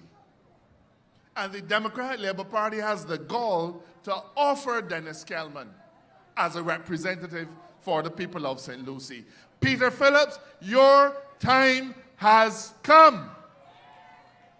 I don't see Peter in this crowd. I believe he's somewhere getting ready. He's coming on right after me, and I hope that you bring him on with a resounding cheer. But Peter Phillips, your time has come. St. Lucy has waited a whole generation. A whole generation. Anybody who was born 23 years ago would have been born when Denis Kellman first got elected. 23 years have passed, and not a thing has been done in this constituency. Denis Kellman is easily the worst minister of housing in Barbados, in Trinidad, in Jamaica, in St. Lucia, Dennis Kelman must be the worst minister of housing anywhere in the Caribbean. He does not receive the respect of his colleagues. They're cursing behind his back at Parliament. They make mock sport, they make mock sport of what he has to say. But yet still that party will come and tell you that Denis Kellman should have the honor of representing this party, this constituency. His time has come to an end. You will not find a more sincere human being than Peter Phillips. He is a God fearing man. He is a man who understands not just suffering, but how to alleviate that suffering. I am told about an instance in this constituency where a private individual decided they were going to virtually provide housing for a family of very poor people. Denis Kellman was approached and did not lift a finger to get involved. This is in St. Lucia. But the day that the house was being handed over to the people, Denis Kellman showed up with the press. He did not lift a hand. I defied Denis Kellman to deny Did not lift a hand to offer a 10 penny nail. But he showed up the day the house was being handed over with the press. Now, remember that this election they have said is going to be nasty. They have said it. And I'm not surprised. I'm not surprised. They have decided that this election is going to be nasty because they have no program to defend. So if you have no program to defend, when you get on the platform, all that you can do is curse people. If you have no policy to defend, when you get on the platform, all you will do is curse people. And when Chris Sinckler gets on the platform, he knows that he cannot defend Freundel Stuart as Prime Minister, so he will curse people. They can't defend the Minister of Housing, so another set of cursing. The cursing and the carrying on that they have promised, though, will reflect more upon them than upon us. My mother always said if you point one finger at somebody else, they're three pointing back at you. So you can expect a nasty campaign, but it will come from them. Mia Mottley has already determined that the platform of the Barbados Labour Party will be about holding out a brighter day for Barbados, a better future for Barbados. For us, this election will not be nasty. It will be about weighing the Democratic Labour Party and their poor performance in the balance. And this country will let them know that they have been found wanting. That's what this election is going to be about. We are coming to the people of Barbados to say to them that better can be done. The Democratic Labour Party wants you to believe that better can't be done. Because if better can't be done, they will argue, well, why bother to change? There is, theirs is not a, a voice of hope, this is a voice of despair. If the bees can't do no better, then why bother to change the dams? That is the message that they want to send to you. But we have been there before, and we have rescued this country, and the Barbados Labour Party's team stands ready and able to rescue it again. We have a team that is experienced. We have a team that has the necessary intellect. We have a decent team. We have a team that knows about service. And this team is being led by Mia Amor Mottley, a woman who is a thinker, a woman who is seen across the region as a leader, and somebody in whom the people of Barbados could put their trust. Freundel Stuart is a fish of a totally different kind. Freundel Stuart is the prime minister because the Constitution says we have to have one. Freundel Stuart lives in Ilaro Court. He drives in the prime minister's car. He gets the prime minister's salary. He has the prime minister's chauffeur. But he does not have the prime minister's shoes. He may have some of the outward trappings of the prime minister, but the things that a leader knows would require him to go and walk among the poor and the needy, like Mia Mottley does every day, Freundel Stuart does not have. Just like Denis Kellman, Freundel Stuart is the worst prime minister that this country has ever had visited on us. He talks pretty. Talk very. Does that mean I got to stop or that is? Oh, fine. Good, thank you. Freundel Stuart talks pretty. He, he says things to make you laugh. But at the end of it all, you're left asking yourself, um, what is it that he was saying to me? He has what the classical people would call a wonderful turn of phrase. But he is easily the most shallow human being you could ever want to find. Freundel Stuart could not plan a fight in a rum shop. He could not sell a snow cone on Spring Garden on a hot Kadooment day. But he drives in the Prime Minister's car. I'm making that point to demonstrate to you that just because you have the outward trappings, it doesn't make you a leader. You see, the Dems, when he comes into Parliament, they don't even want to get up. But they say, yes, Prime Minister, because that is his title. But he doesn't lead like a Prime Minister. He doesn't know how to lead like a Prime Minister. And even if he knew how, the bunch of individuals that he has under his charge I, I'm not going to say anything bad about them.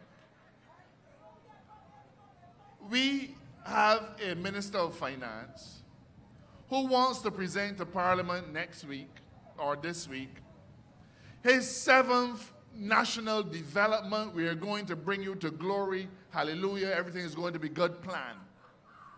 Every year he comes with a new plan, with a new name. He finds new things to put into it. The problem is that all of the previous six plans failed. And with an election due a mere 40 days away, he's now coming with a miracle plan. He has this miracle plan now. I don't like horse racing. I'm not a big horse racing fan, but I see a few horse racing fans in here.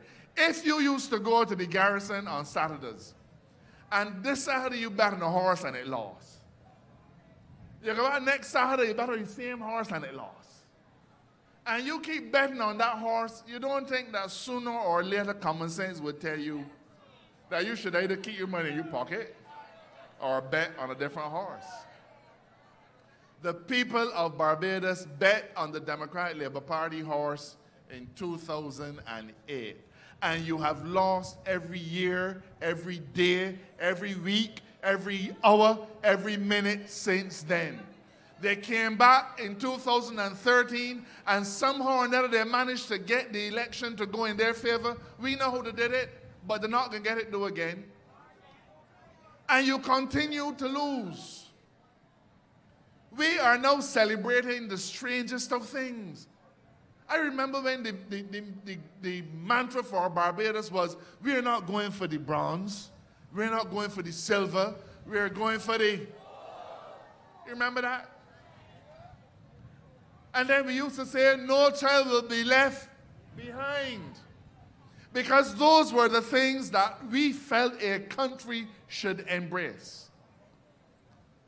But in the year 2018, we are being asked to believe that the Democratic Labour Party, after presiding over 23 downgrades, it's not an interesting coincidence. Denis Kellman served in Parliament for 23 years. So let's go the other way. We have had 23 downgrades. You want a 24th? Denis has had 23 years. You want to give him a 24th?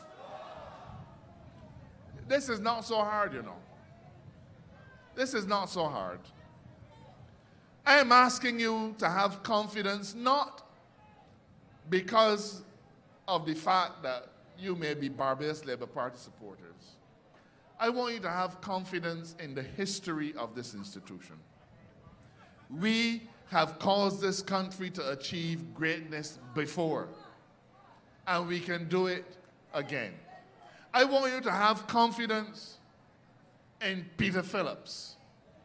I want you to have confidence in Cynthia Ford and Edmund Hinkson and Kerrie Symmonds and Sandra Husbands, I want you to have confidence in every single individual that we present to you, not just because of some blind loyalty to the Barbados Labour Party, but because you recognize in all of them and hopefully in me that we represent a team of individuals who bring seriousness about governance. You know, if Freundel Stuart leading this country could not understand why it was wrong for him to say that, as far as he was concerned, um, Leroy Parris is no pariah, he's his good friend, and he should find a lawyer. In the face of the bitterest blow that Barbadian investors had to face, he could not understand, he didn't have it in his bosom to recognize that his loyalty lay not to his friend, but to the people who he asked to have confidence in his leadership. He couldn't understand that. And so when everybody in Barbados had the Cahill report, his excuse was he hadn't seen it yet. It was all over the, the paper, but he hadn't seen it yet. And he said that no, no Cahill documents were signed, but we produced a Cahill Memorandum of Understanding signed by Freundel Stuart. That is the nature of the government today. But those are exactly the things that we have to leave behind at the start of 2018. We know that the road ahead is going to be rough. It isn't going to be rough because of anything we in the Barbados Labour Party wish to impose on our people. It is going to be rough because they have left such an ungodly mess behind that it is going to take us some time to clear it up. But we promise you that every single day after we are victorious at the polls, every single member of the Barbados Labour Party team will roll up his sleeves, go to work with all of our might to bring this country back to where it can be. And we are going to be led by a woman who I'm sure will go down in history not just as being the first female prime minister in Barbados, but perhaps one of the finest that the Caribbean has ever seen. We are going to be represented in St. Lucy by a brilliant young man who has the touch of the common people. We are going to be represented in Parliament by a Cynthia Ford who knows nothing but love and does not know what hatred means. We are going to be represented by people, by a man like Kirk Humphrey who has a big surprise in for Freundel Stuart. Kirk, are you here? I am, I am seeing a red light, so I think that means, I think, I think that means I have two more minutes. two more minutes. I'm going to use them wisely. There's an exercise going on in Parliament. Now remember that Parliament now only has about just about 38 days of life left. And the Prime Minister has said I am going to carry you down to the wire. The only problem is that he didn't tell the people of Barbados how near or how far the wire is. But when he said in St. Lucy that they have nothing to be ashamed of, I want to ask you this. They were elected for a maximum of a five year term. That five year term under the Constitution starts not on the day of election, but on the day of the first sitting of Parliament. Those are the rules. So that five year term will come to an end about the 6th of March. But I believe that the Prime Minister of Barbados wants to carry this country into an election beyond the 5th of March. Now, let me tell you what that means to me. You see, as at the 5th of March, there will no longer be a parliament. No longer be a parliament. But we will have cabinet ministers who will be able to give out contracts without any parliamentary oversight. We will have cabinet ministers who will be able to lick out the government's money to try to ensure that they're successful at the polls one more time. We will have cabinet ministers who will walk up and down this country getting fat with their chest high in the air, reaping the benefits, but condemning the people of this country forever to damnation if they win. Talk about shame. If you are given a notice to quit by your landlord, you have no right staying on an extra week, an extra two weeks. But Freundel seems to have it in his head that he could stay on for an extra three months. We have to abide by the Constitution. But I want you to make him pay for every single day that they remain in government of this country after the 6th of March by refusing to give them your ex and by placing them against Peter Phillips' name, George name, Cynthia Ford name, Kirk Humphrey name, Charles Griffith name. Put every single X against the Barbados Labour Party candidate. And every X that you put will be a stripe across the back of Freundel Stuart and Chris Sinckler and every single one of those Democratic Labour Party demons. I want you to send them exactly where they belong and do it with your ex on election day. Good night and God bless.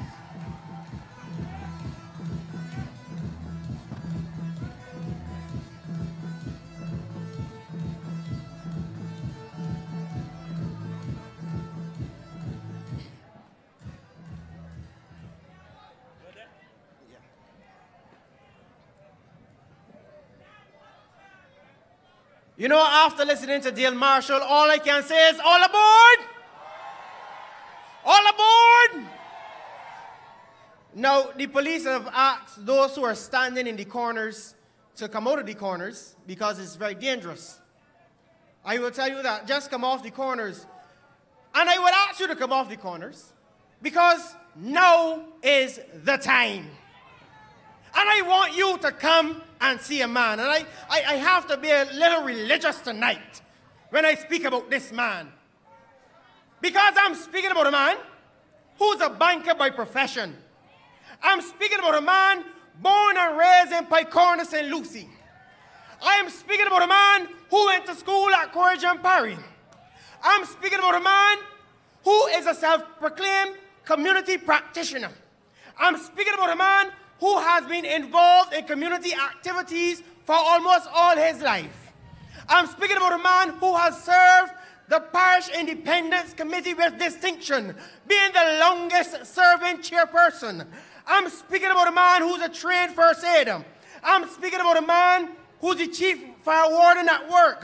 I'm speaking about a man who has been doing work for St. Lucy. I'm speaking about a man who has been feeding the poor in St. Lucy. I'm speaking about a man who is named Peter Phillips. I'm speaking about a man who will be like Joshua in the good book of Joshua, chapter 6 and verse 1, who will walk and will bring down the walls of Jericho. The walls of Jericho being the walls of the Democratic Labour Party in St. Lucy. I'm speaking about a man who is my friend. I'm speaking about a man who is my mentor. I'm speaking about a man who is my comrade. I'm speaking about Peter Ricardo Phillips, the man who will bring proper representation and progress to St. Lucy. I'm speaking about a man who you can depend on. I'm speaking about a man for St. Lucy. I'm speaking about a man who has St. Lucy's best interests at heart.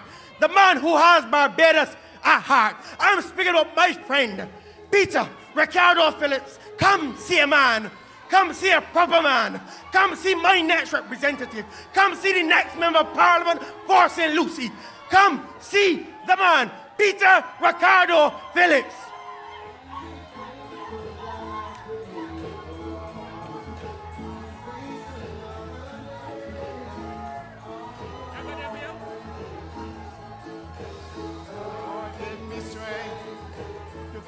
Another day.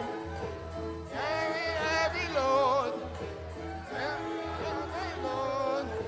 God, can get you to carry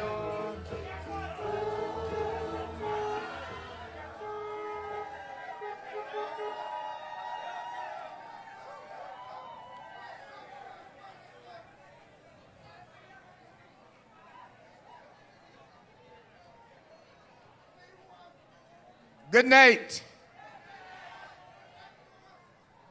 Good night, comrades and friends. Good night, the wonderful people of Checker Hall and Broomfield and Fustic and Checker Hall Road number one and Caveville and Pycorn and Bourbon and Swampy Town. Good night, my people of St. Lucy.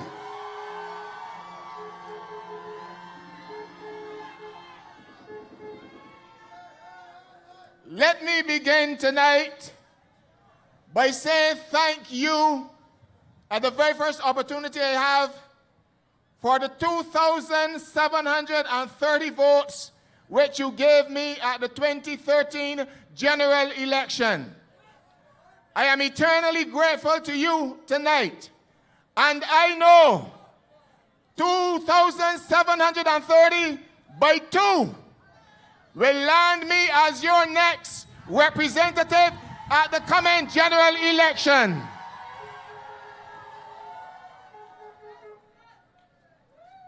I'm a bit sad tonight because missing from this crowd, this large crowd, are two persons, three persons who were with me the last time. I think of Comrade Nita, Nita Payne,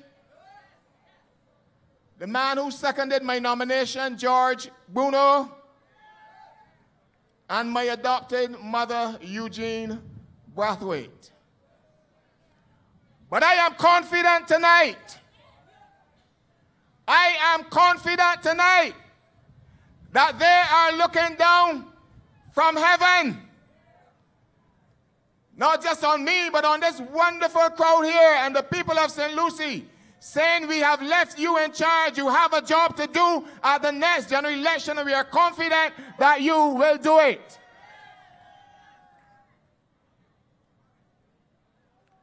This speech was perhaps the most difficult that I had to put together today. As I sat, as I laid down, as a, as a matter of fact, and I was thinking there's so many things to talk about.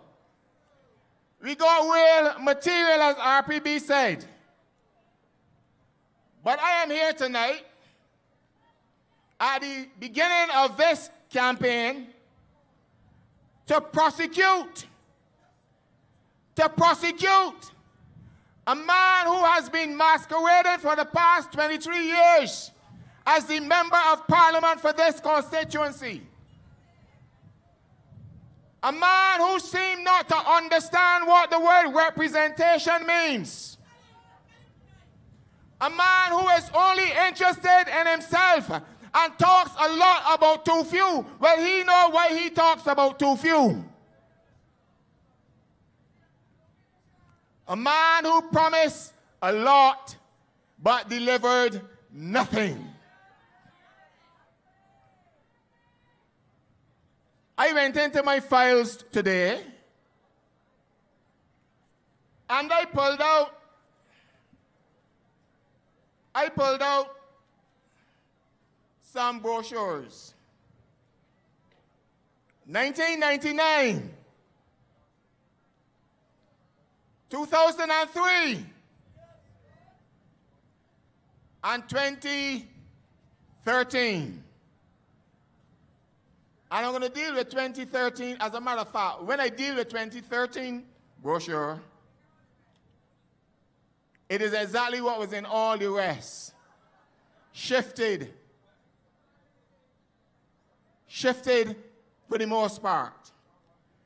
In the 2013 brochure, he has 43 initiatives. 43 initiatives, including Provision of house spots at Mount Poyer, Fustic, Coconut Hall. Improvement to roads. Archers Road, Maycross Terrace, Checker Hall, Rockfield, Well Road, Caveville, Josie Hill, St. Clement's Church Yard, and Burrows Road. That's what he said, and part of what he said in 2013.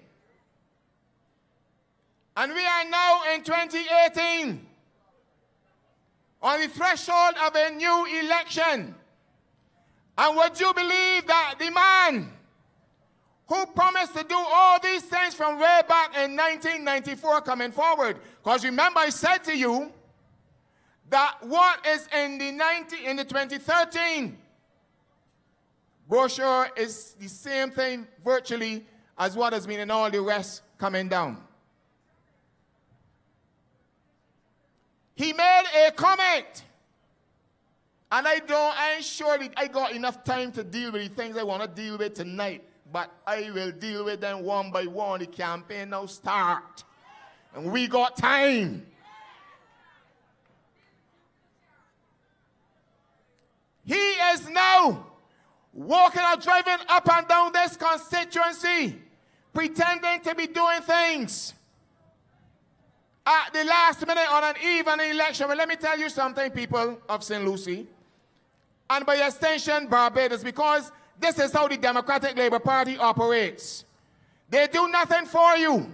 And then come election time, they pretend to be doing things. And then they come and they flood you with all sorts of gifts and so on. I want you to take the gifts and vote them out. Because the people of St. Lucy will take whatever he bring and vote for Peter Phillips.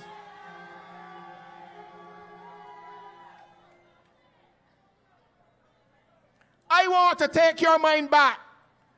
People of Oxford and Alexandria and Josie Hill and Daytree Hill and Harmony and Pie Corner and Mount Gay,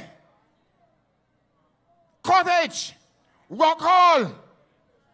I want to take you back to 2015 from about June of that year when every day, day and day, we had dry taps. We had dry taps, and when the taps ain't dry, the water was brown. I remember Christmas Eve 2015 being on the road in Oxford where the water truck came and having to beg the man to go into certain areas because people in Oxford didn't get water for that whole day. And where was the masquerader? The man, when we were at CP, they called ghosts.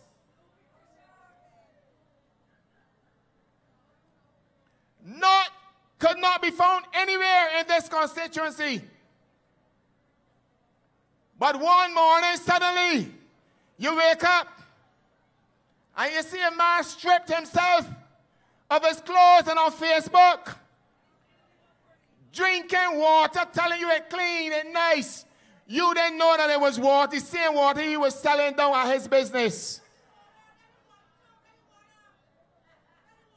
But did not care about you. When we met at the shop in Daytree, Colin and I, and our party leader, Mia, and a number of us from Cynthia and Dale, in December, because we did tours of the constituencies that were very gravely affected by this water shortage. I wrote the Barbados Water Authority. I sent them emails. They did not have the decency to respond. But months after, through the St. Peter Constituency Council, they called the meeting at Boscobel. We met at the Boscobel School. Party leader Mottley, Colin, and myself. I think Eddie Hinkson was there too. And we dialogue with the people because we understand what it is, how it is to care about people. We understand the plight of people. We understand the fact that when you can't get drinking water, it is extremely difficult. But the member of parliament could not, for St. Lucy could not care less about what would happen to you. So he was absent even now.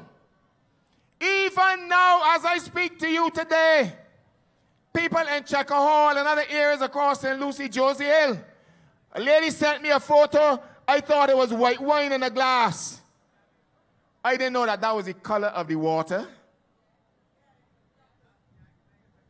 I remember when I came to Checker Hall one evening, persons came to me and said, We can't drink this water, we have to be buying water. Well, good God, man. How could you be paying a water bill? Paying your water bill every month and still going to go and buy water. And your member of parliament, the current member of parliament, never represented you. For that, he must go. He has to go. 23 years of non performance, he must be fired. And fired by the ballot whenever the time comes. As I have been canvassing across this constituency, we get the complaints. And the number one complaint is roads. I got some youngsters in here with the cars tonight and the good rims, and they complain. They get them mashed up all the time, having to change shots and CV joints and all of that all the time, regularly. All right. I want to, I, I, I, I got exhibits here tonight. And he got to come, he got to come and answer. He has to answer us. He has to answer the people. This ain't going to be no easy way to no seat because, as a matter of fact, we getting rid of you. First, exhibit number one. Number one, taken from the Sunday Sun of September the 13th, 2014. Mr. Photographer, look at here. Look at here. A picture of the silent police that Kirk Humphrey is going to take care of. Andy Bailey and Kirk, you can get a copy of this paper because he talked enough about roads. They talk about a $140 million road plan. A road program to start next year. And this is September 2014 I talking about here. This is what is in the paper. So next year, therefore, will tell me that it is September 2015. And this is what I had to say. They're now negotiating for IADB loan. This is what Minister Lashley said in the Baylan in that area, in the Prime Minister's constituency, in the presence of the Prime Minister. And I'm going to come to because he was on TV tonight too. I'll come into that soon. You mean Cabinet Broadcasting Corporation? He said they were having discussions and they were going to build all these roads. You talk about Bayville and Luke's Avenue and all of that, but I want to get the peace because Kirk can deal with this in St. Michael South. They said roads will also be repaired in St. Lucy. 2014, they said that. And the program was supposed to start in 2014, 15. 140 million road repair project. And St. Lucy was supposed to get piece of the pie. Let me ask the people of St. Lucy, you see any of that? Did you get any of that? Or we still driving boat tonight in potholes like as big as one bedroom apartments? Potholes. They got a place named Well Road in Pie Corner. And they got, it got to be road in the wells. Because that's what it is. All over the place. And now they're walking on the evening election, patching, patching, patching. After they spent about two million a few years back, patching again. Would not fix the roads. And I heard Michael Lashley on, on TV tonight talking about a road in Corner, Lil Bay. That is because they believe. They believe that they can come at last minute and pretend to be doing something and the people will forget. Well, I got news for them tonight.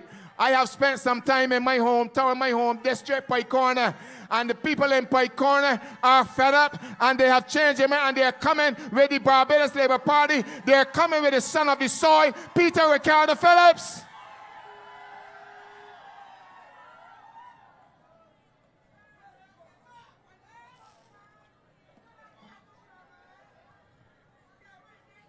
You think that was all?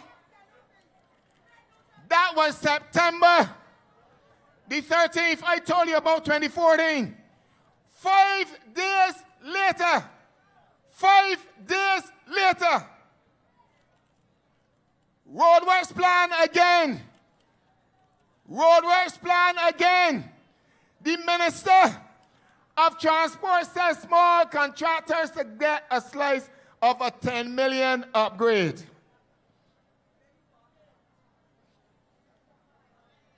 And listen, listen.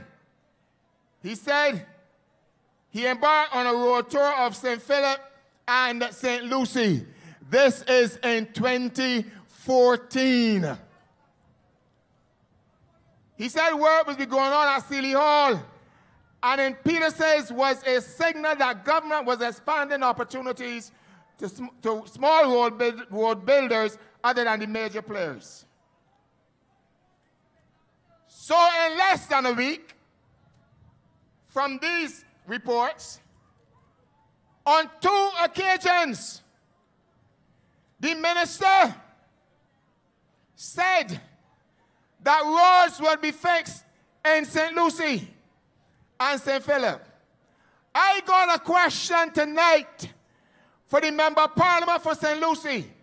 How is it that roads were being done day in, day out in St. Philip and none in St. Lucy? And you sat down, the people of St. Lucy send you to parliament and you sat down in cabinet each and every Thursday. You refused to come to anybody's funeral. As a matter of fact, every Thursday the God of funeral, you say you're at cabinet. So you sat down in cabinet. You sat down in cabinet and nothing has happened on the behalf of the people of St. Lucy. And know you're walking about.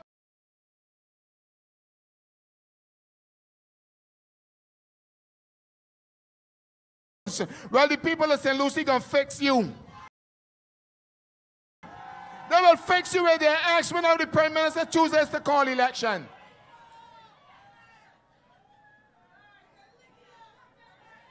23 years.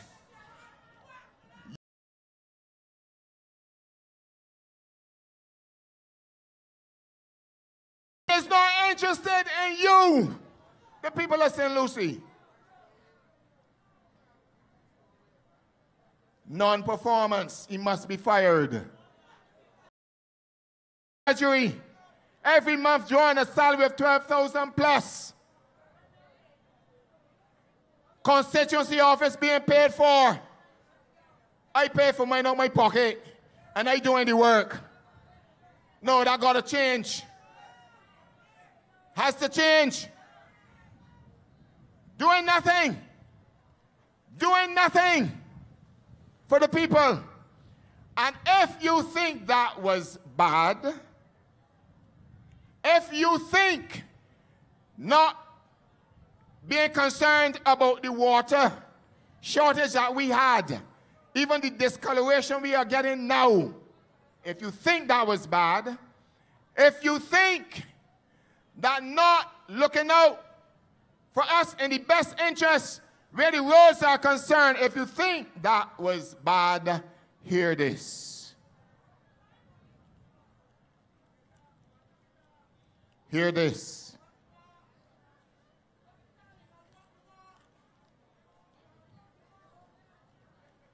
He has a ministry, an important ministry with social services, the Ministry of Housing, Land, and Rural Development. You hear what I say? The Ministry of Housing, Lands, and Rural Development. He has done nothing to the benefit of the people in this constituency with such an important ministry. You heard his predecessor had it, and even if the bill houses in the body and in them, the bill hoses. What has he done? He cannot even deliver up to then. Because as I understand it, people getting $40,000 in lumber now and all of that through rural development. But let me tell you something. We got to do an investigation and an audit. We got to do an audit when we come to office. Because I don't understand this. You could do nothing for people. Look, they got a man. They got a man not far from here. As a matter of fact, I can think of three people as I stand here that are, are living in conditions deplorable.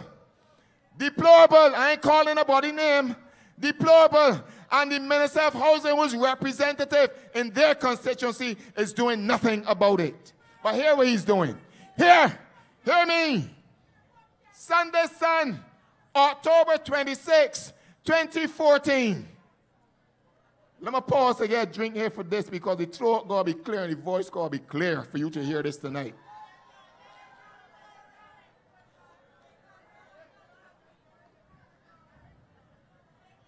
I remember being at conference this year at St. Leonard's School. I remember. And I took up this Sunday Sun of October 26, 2014. Y'all got it? Photographer, you got it? I hope you get it and see it good. And in this, he's only the photographer, he ain't the reporter. He only the photographer. Give him a, give him a chance. In this, it reads the headline, not selling. The subheadline, St. Lucy family tells Kellman, we are not parting with our land. This is what the paper of October 26, 2014 says. And let me read it. Let me read a little piece. Let me read a little piece. All this is the evidence, people. When you go to the polls, you got to got these things at the back of your head. And when you're putting down that X, you got to mark against this foolishness, this nonsense, and this ignorance that, that you, the member parliament currently walking about, doing about here. Huh? An elderly St. Lucy woman and her son say they are being harassed for their property by Minister of Housing and Lands Denis Kellman and ministry officials. They said they're being harassed. The paper goes on to say, it goes on to say, the land which the family has owned for 62 years has been apparently earmarked for recreational purposes. And Upset Edwards said he was contacted three weeks ago by an official who informed him that the ministry was willing to offer him a million dollars for the property, which includes his childhood home. It said he called and asked if I would accept a million dollars, and I told him no. That man, so we got to salute that man. He got some. We got to salute Everton Edwards tonight. We got to salute him. He said no to a million dollars.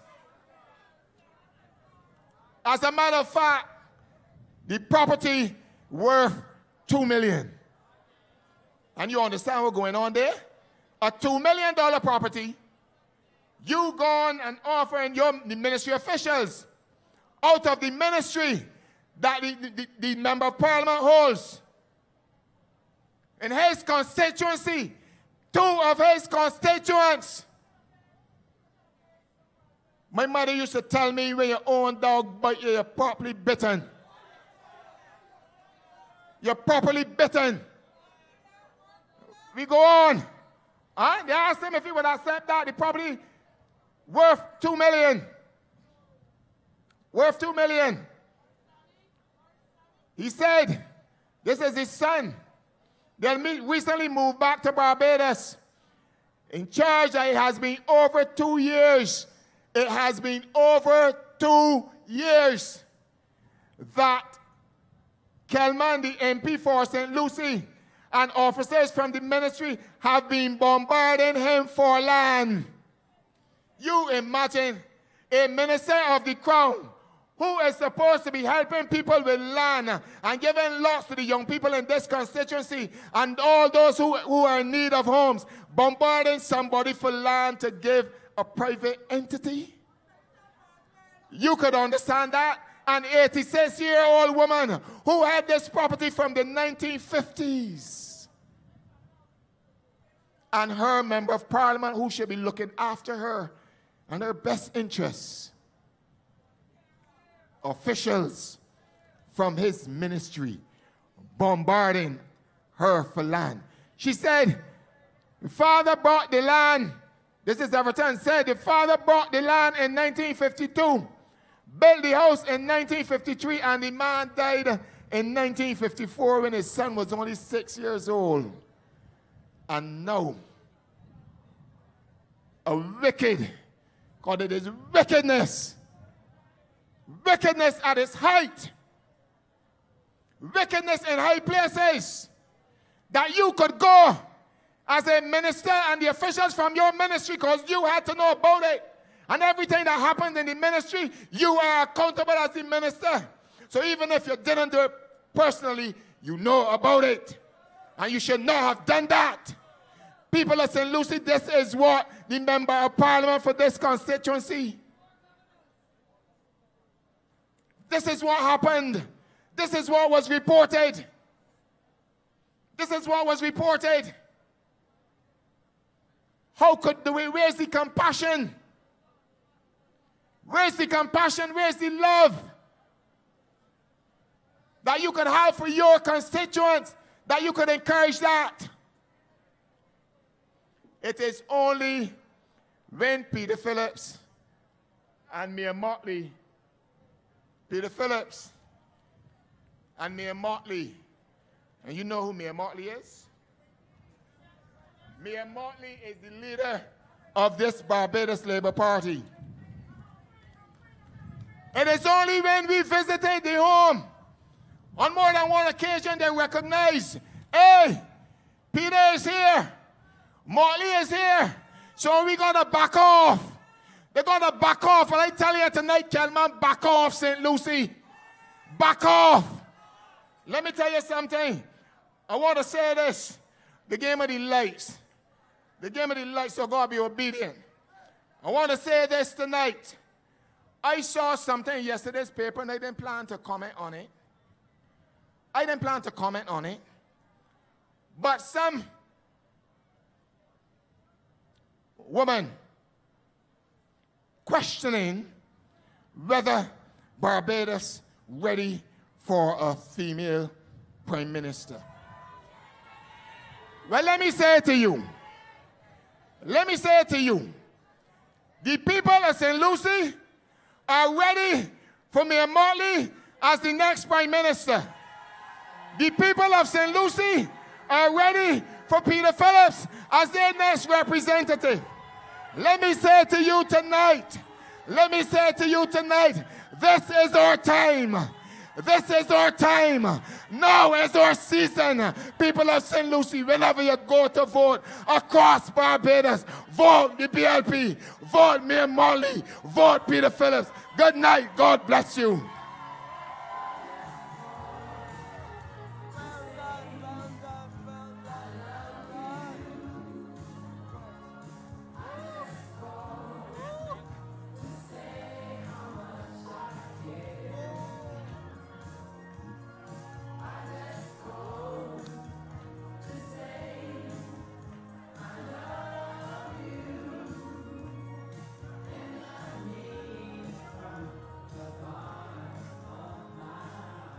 Oh, yes, Peter loves you from the bottom of his heart. He loves St. Lucy. That's a quality man. That's an able man. That is a caring man. And you could not do better for yourself, St. Lucy, than to take that man that loves you and make him your next representative. Oh, yes. One little housekeeping matter. White Toyota Corolla, MA2101. MA2101. We want to ask you, please, to move your vehicle. Now, let me tell you something. Y'all look wonderful from up here. Oh, my goodness. Oh, my goodness. As far as the eye can see, Barbadians from every walk of life, and in particular the wonderful people of St. Lucy. Oh my goodness, this is great, absolutely great. Now, I want to tell you something, St. Lucy. Y'all have work to do. And let me tell you what that work is. You have got to remove the national embarrassment of Denis Kellman. I'm a management consultant, and I have to travel up and down the region dealing with companies and governments on various matters.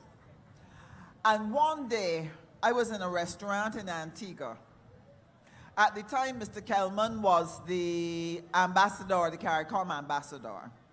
And a well-known man from Trinidad was sitting with us having lunch. And the gentleman said, Tell me something. We're accustomed to a high quality person coming from Barbados. We've always looked up to Barbados. You all have always had some very quality people representing you. But who is that man that you have as CARICOM ambassador? Well, let me tell you something. I did not know where to look. I did not know what to say. Because while I would say what I have to say while I'm here in Barbados, I'm not going to go there and help anybody embarrass Barbados. Not doing it. And I said to myself, listen, it is time and more that we get a change in relation to Mr. Kellman. So, St. Lucy, you have that work cut out for you to remove that national embarrassment. The second job that you have to do is you have to help us, you have to relieve us of Mr. Freundel Stuart. It is time and more for that man to go. Why?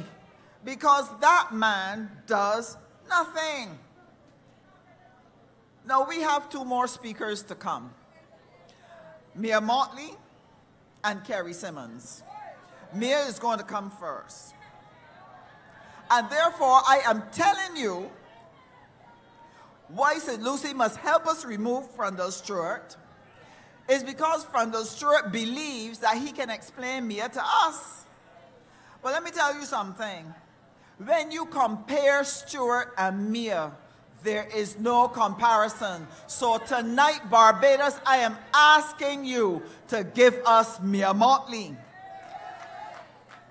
When there were double murders in St. Philip, Stuart could not even open his mouth to say a word of comfort to the families, to steady the Barbadian public that was shocked. He said nothing. He was tongue tied. When we were downgraded constantly, he had nothing to say. But when Mia Mottley was confronted with a prison that burned down, Mia Mottley stood to the test took charge, put a plan together, did daily briefings to every Barbadian so that we knew exactly what was happening. That is what she did. There's no comparison between Stuart and Mia. Give us Mia. Stuart has championed not one initiative as a prime minister. He has nothing to show for his time. But while Minister of Education and Culture, Mia Amor Mottley championed culture and put culture on the map and gave confidence to Barbadian performers that they could take on the world and perform for the world. And now you have Barbadian performers all over the place. When we were attacked by the OECD, not a word from Stuart. But when we were attacked by Venezuela and Trinidad, Mia Mottley put on her battle harness. She went to wage war in the House of Lords on behalf of Barbados. She brought the argument that was going to put us on the map, and she was able to put such a forceful argument that the House of Lords gave in favor of Barbados, and it protected our economic zones when Mia Mottley comes to town, she puts her battle harness on and she's ready to put it on again. She is ready to do battle against poverty. She's ready to do battle against corruption. She's ready to do battle on your behalf. She's come to battle in love for you. She is in battle mode. of her. Here she comes.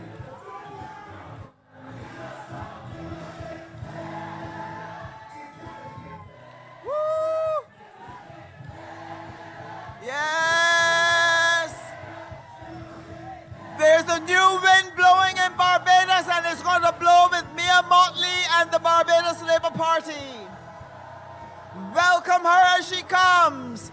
Miss Mia Amor Mottley, bringing a new wind of governance to Barbados, bringing new prosperity to Barbados, bringing relief to Barbados.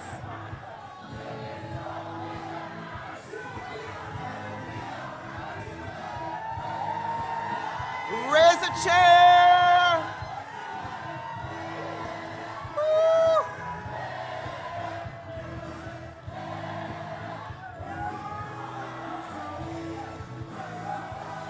Miss Mia Amor Mottley, the next Prime Minister of Barbados.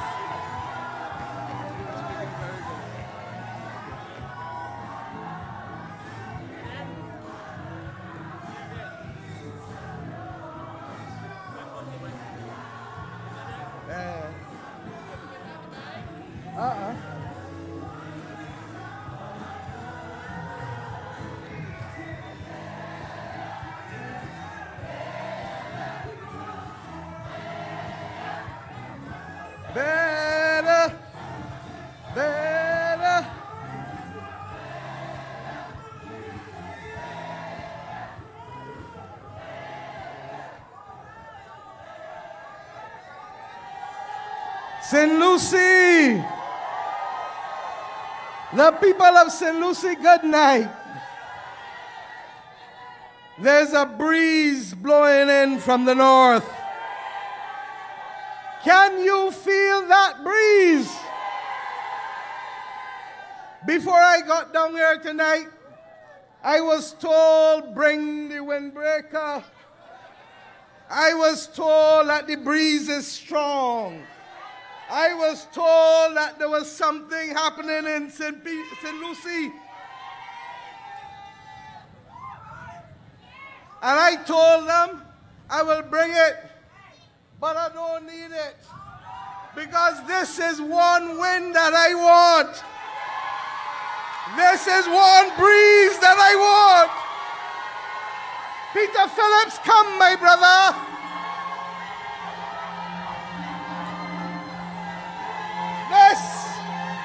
This is the man that will bring the change. This is the man that I need in St. Lucy. Thank you, my brother.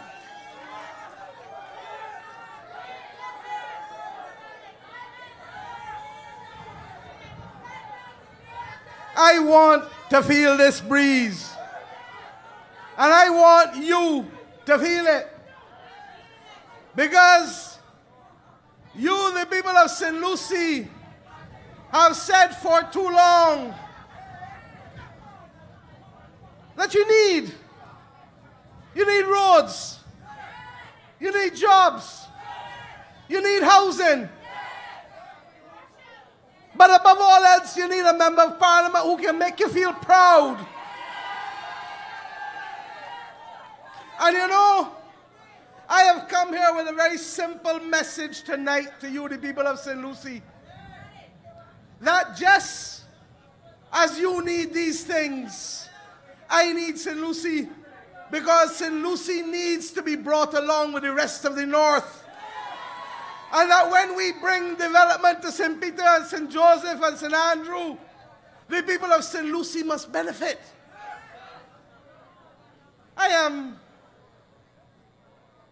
not in the best of voice and shape tonight, but nothing could separate me from being here in St. Lucy. And you know, I have to start with why and how. This Barbados Labour Party has known what it is to transform the north of this island. From the days of Grantley Adams and St. Joseph, in St. Andrew, in St. Peter, in St. Thomas, and even though In all of the years, we can only count the Roy Braffett in St. Lucy in 1981. You, the people of St. Lucy, have said to me that when Roy was there, you saw what you got with him as your MP. That he loved you. That Roy Braffett made sure that you got playing fields across this parish in Connells, in Cove Bay, in Greenwiches, in Durham. That Roy Braffett made sure that when the decisions were being made in the cabinet in the government of Barbados under Tom Adams and then Bree St. John, that the people of St. Lucy were not left out. He loved you. He loved you. And he showed you how he loved you. And when we came to government in 1994, Denis Kellman was elected as a member of parliament the same time that I was. That is a fact. But it did not stop you, the people of St. Lucy, from benefiting from a government of Barbados. You know, and I know, that one of the first projects that the Barbados Labour Party did when it won the government in 1994 was a primary school that is now known as the Ignatius Byer Primary School. I know because I was the Minister of Education. And even though the school had been planned, I could have done to the people of St. Lucy what this wicked and malicious government has done to Cynthia Ford and Jackson, this government nor this minister has ever finished, or to me, the people in Canewood Hill. Roads started and never finished for 10 years. We didn't believe in that because we felt that the people of St. Lucy were good people. Uh, uh, and study yourself. This was the people of St. Lucy in the east of St. Lucy, out in Pie Corner an area that has been more loyal to the Democratic Labour Party than perhaps any other district in the whole of Barbados other than St. John. And what did we do? We finished it. You can go and take an excursion. You can go take an excursion because the road's bad and it can take you long to get there from Checker Hall. You can't get there fast in your own car. And the only reason you see buses enough tonight is because the Labour Party got a meeting in Checker Hall.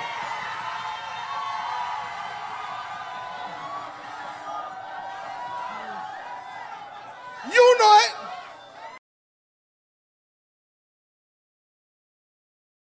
Buses up in here. But you see, the difference is this that I have made it my business to know. And I want the message for you to carry from here tonight is that in the same way I have made it my business to know from opposition in the same way that I have made it my business to know when Denis Kellman tried to intimidate that family that Peter Phillips just told you about in Crab Hill, next to the Northern Stars playing field. I didn't go once, but I have visited them a number of times because nobody should be made the victim of ministerial abuse of power in this country. And I've come tonight with a simple message. Just as we did in 94, just as Roy did in the 80s, just as I have done since being an opposition leader, we have come to tell you, St. Lucy, it is time to come now. It is time to come now. And I don't ask you to idly come. I ask you to come and give your confidence to a man whose voice has been strong in your defense. I've asked you to come to give your voice to support Peter Phillips. Peter Phillips was not the member of parliament when he was arranging meals for people in St. Lucy, working with the Kiwanis Club. Peter Phillips has not been the member of parliament when he has been working with young people over and over and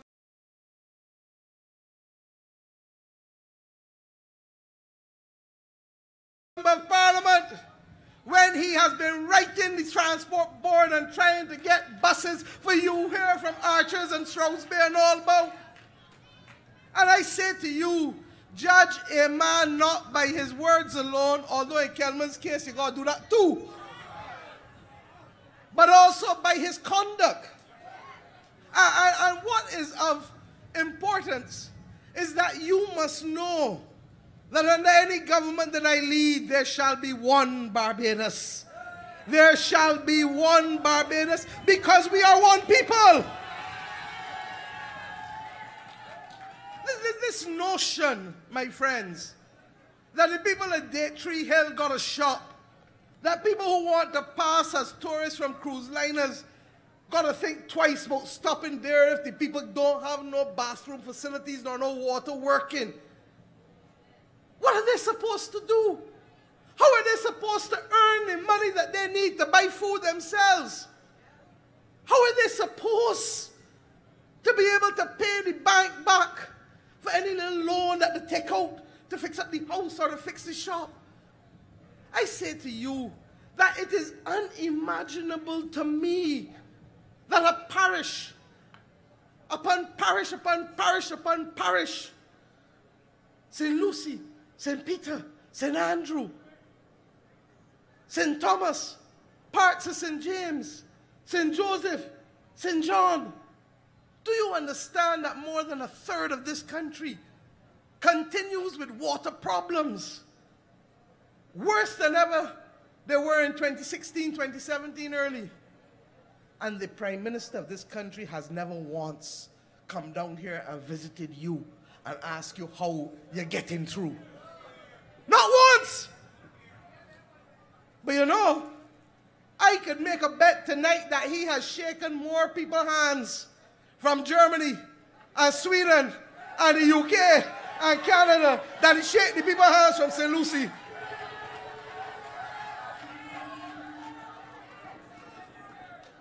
But Kellman doesn't worry about that. Kellman wouldn't talk on Facebook and beg the Prime Minister to come to your aid in St. Lucy. Kellman begs the people to come and support him with macaroni pie. He doesn't beg the people. Minister Eswick, Freundel Stuart, the Prime Minister, he doesn't beg them to come and see that you, the people of St. Lucy, need to be able to express what it is you're going through. And that when you do get water, you're getting brown water and yellow water. This is the reality. And you know, what bothers me is that I can leave here tonight and go with pride to the people of St. Michael Northeast, where I was elected at the same time. Thank you, love. It's true, this walk with me. But I can go and with pride point out the record, both under government and under opposition, for the representation of the people of that constituency. I asked Denis Kellman tonight, what can you show? If you tell them about the concrete roads, it is the Barbados Labour Party that gave you the first concrete roads in this parish. But rather than that, we have a man who is consumed with being on Facebook. He's a Facebook fanatic. He is for him, it is all about the likes. He never hear about the love. And when he's not on Facebook, he's on the call-in program. But in the meantime, we want to know what he's doing for you. And let me, let me just go further because for me, the people of St. Lucy must know this has been your lost decade. It really has. Because I pointed out that even under Barbados Labour Party government, concrete roads were being done, water mains were being fixed, primary schools were being built. All of these things were being done. Community technology, all of these things. Thank you, since this garbage trucks, everything working. But what was more was that when we stopped using the prison at Harrison's Point, I want you to listen carefully. We determined that that site was a perfect site for a massive major tourism development. Clyde Mascoll is here, ask him. And we believed that it was the last huge site on the west coast going into the north that could be made available for this. Now, I walk around Barbados all the time. And wherever I go in the tourism belt on the west coast, the workers at the hotels and the villas come from one of three places St. Lucy, Coastal, St. Peter, and St. James, and occasionally Black Rock. But the people of St. Lucy have been servicing and holding up Barbados' tourism industry and high-end tourism industry for decades. These are the people who caused people to want to come back here. Your people.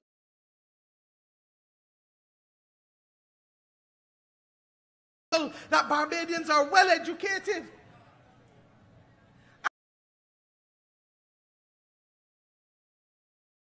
Ten years later, what do you have to show for it but abandoned buildings? Ten years later, what do you have to show for it other than a brewing battle between two Bajan business tycoons as to who should really get Harrison's Point? And that is not for tonight, but another night. But in the meantime, you, the people of St. Lucy, don't have the benefit of that development. Sandra Husbands, who is chairing this meeting, she can tell you about the plan, Sandra. Where are you? You can tell them when you, you come back on this platform, if you didn't do it already for the night, about the plans for housing in St. Lucy. And the only thing the Dems could do was to come and pull a all. Thank you, Avril. It begins with T and ends with K. I didn't say that to trick you, but I know that after David Thompson made his last public appearance at Pickering, you have seen nothing ever since then. And that was more than seven years ago. and, and it is not rocket science, my friends. Let, let us be clear. St. Lucy has the largest available amount of land, both for agriculture and non agricultural uses in this country. If the economy is growing and if people had money in their pockets, the next frontier for development, Clyde, is where? St. Lucy. But you see, a Democratic Labour Party government that has done nothing but take money out of your pockets, has done nothing but cause you to suck salt. It means that they are not in a position to fuel the economic activity that is necessary for you, the people of St. Lucy, to get new jobs. Or for you, the people of St. Lucy, to see houses go up in the hundreds up here. Or for you, the people of St. Lucy, to get into new farming and greenhouse farming to be able to support high-end vegetables production for the tourism industry. And I say to you tonight, Peter, that I come tonight with a public pledge, Pete. Thank you, my brother. That the people of St. Lucy will be treated fairly in this country when it comes to roads. That the people of St. Lucy will be treated fairly when it comes to economic development. And any battle that is taking place for Harrison's Point, you know that I know how to deal with Harrison's Point already. And I ain't gonna play. But that any major tourism development that takes place down there has to benefit the people of St. Lucy first. That similarly, if we are to meet the pent up demand for housing in this country, we have seen how St. Philip has developed. You have seen people move into St. Philip that never were from St. Philip. Easily almost 30,000 people living in that parish. St. Lucy is struggling to find 8,000 registered voters. Why? Because at no time has this government taken the development of this parish seriously. It hasn't. And you have only to go to let it be known that when we talk about one Barbados, we don't only mean one Barbados physically. That we mean one Barbados. We are not going to tolerate the kind of nonsense where Denis Kellman can speak about the small man, the small man, the small man, and all he doing is pushing up the big man, the big man, the big man.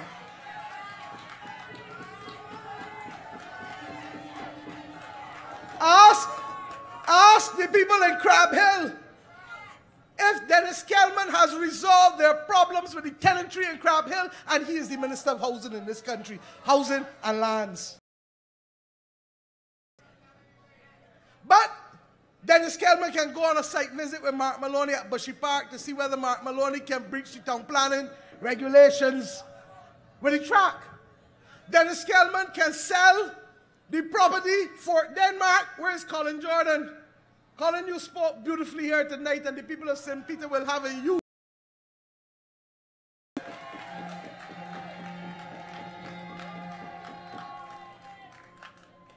Denis Kellman is the Minister of Housing that is presiding over the sale of Fort Denmark and ask him if it is not to the same group of people that have gotten everything else in this country.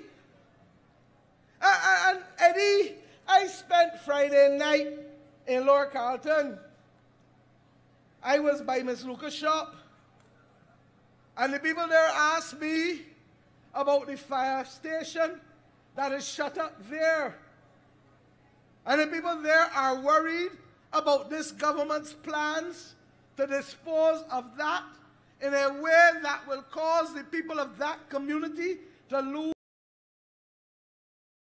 That is a community that I know for all my life.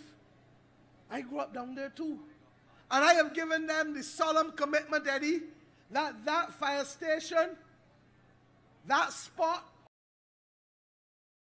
utilization of the people of that community because people in Barbados deserve access to beaches too. And let us not get tied up. I am not saying that there isn't room for other development, but you can't have all. And what bothers me when I say that there will be one Barbados, Peter, and the people of St. Lucy, is that Denis Kellman has yet to stand up for you. I ask you,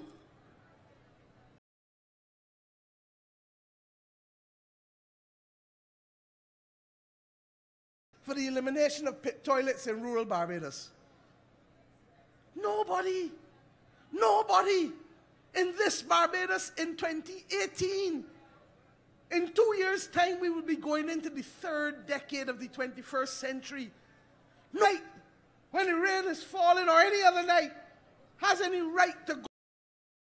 People who people, people who are indigent, and people who may be differently able, disabled. But you know, that is the difference. You want to know what is the difference between the Barbados Labour Party and the Democratic Labour Party? That we will put people first. The notion that a minister of housing can preside and don't let nobody fool you Denis Kellman presided over the construction of the grotto. $28 million. It remained closed for two years. Tiles start to burst because the place lock up. And when you know when a building lock up with heat, what happens? They had to go and spend money to fix that again. And all about St. Lucy and St. Peter and St. Andrew, people looking for housing and can't get none and Denis Kellman presided over $28 million going to the grotto. Don't tell me that you can change the contract as Minister of Housing. But I come with one better, and Jerome knows it too. There was a piece of land that the National Housing Corporation wanted to sell to C.O. Williams to settle a debt that it owed C.O. Williams Construction.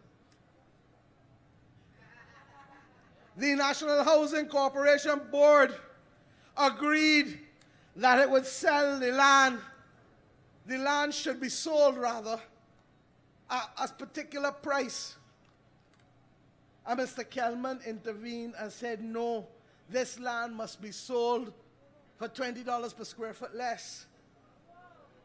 And the difference in price would have meant that another million dollars or so would have come into the National Housing Corporation.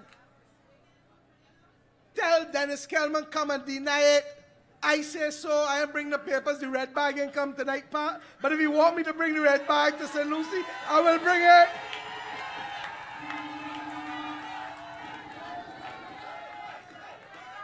Now, how can you intervene when your own board says that the price is up here? And you say, no, no, no, no. Don't make it pay so much. Make it come down. Well, I want to know what he's making you, the people of St. Lucy in Crab Hill, whose tenantries need sorting out. What is he doing for you? And I ask you tonight, the people of St. Lucy, truly, I ask you tonight, a time has to come when you have to stop and study ahead. You have to stop and study ahead. This is not a case. I wish it could have been like the 50s when you didn't have communication and I could tell you that Denis Kellman has withdrawn from the race and everybody would know that that is the truth, but that doesn't work. He is the member of parliament. By law, he has at most five more Tuesdays as your member of parliament. You hear what there?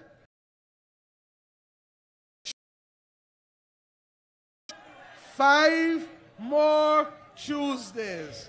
And I want the people of St. Lucy for the next five weeks, because we don't know when Freundel calling this thing. We don't know what they're holding on for. I suspect, I think you suspect too. But that is their business. Let them keep loitering. Every time you see Denis Kellman for the next few weeks, if you see him this week, five. If you see him next week, four. If you see him the week after, three. If you see him the week after that, two. If you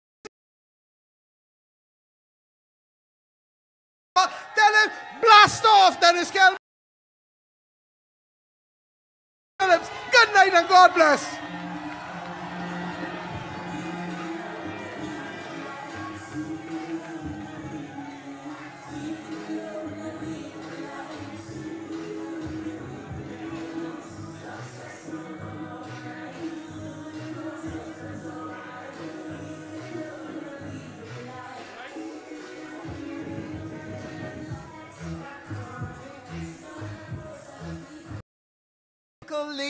Of the Barbados Labour Party and the next Prime Minister of Barbados, Mia Amor Mottley.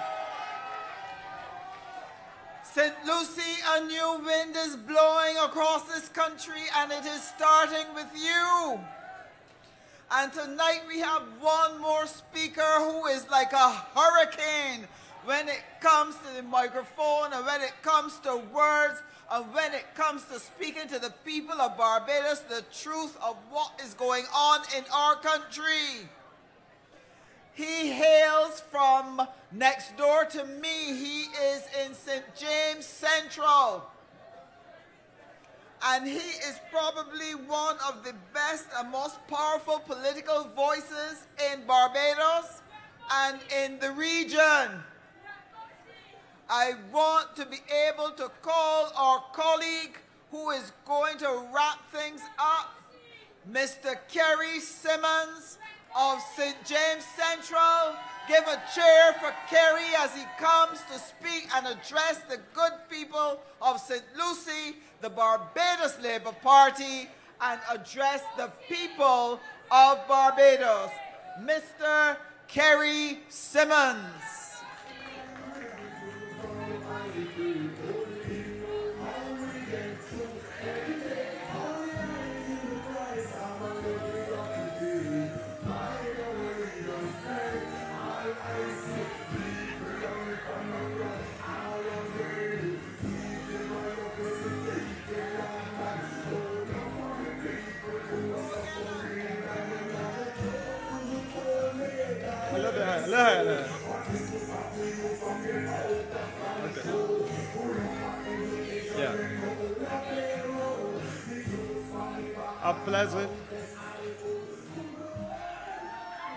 Story's never been told.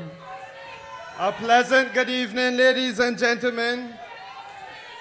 I come to you tonight in support of the candidacy and candidature of my very good friend Peter Phillips. And I want to start by saying to you that while Mia was coming up here, my phone was ringing. I got a call from a friend in Grenada. And I want to let you know that Prime Minister Keith Mitchell in Grenada has called an election in Grenada for the 13th of March. And I want you to send a message to the rat boxy fella we got down here.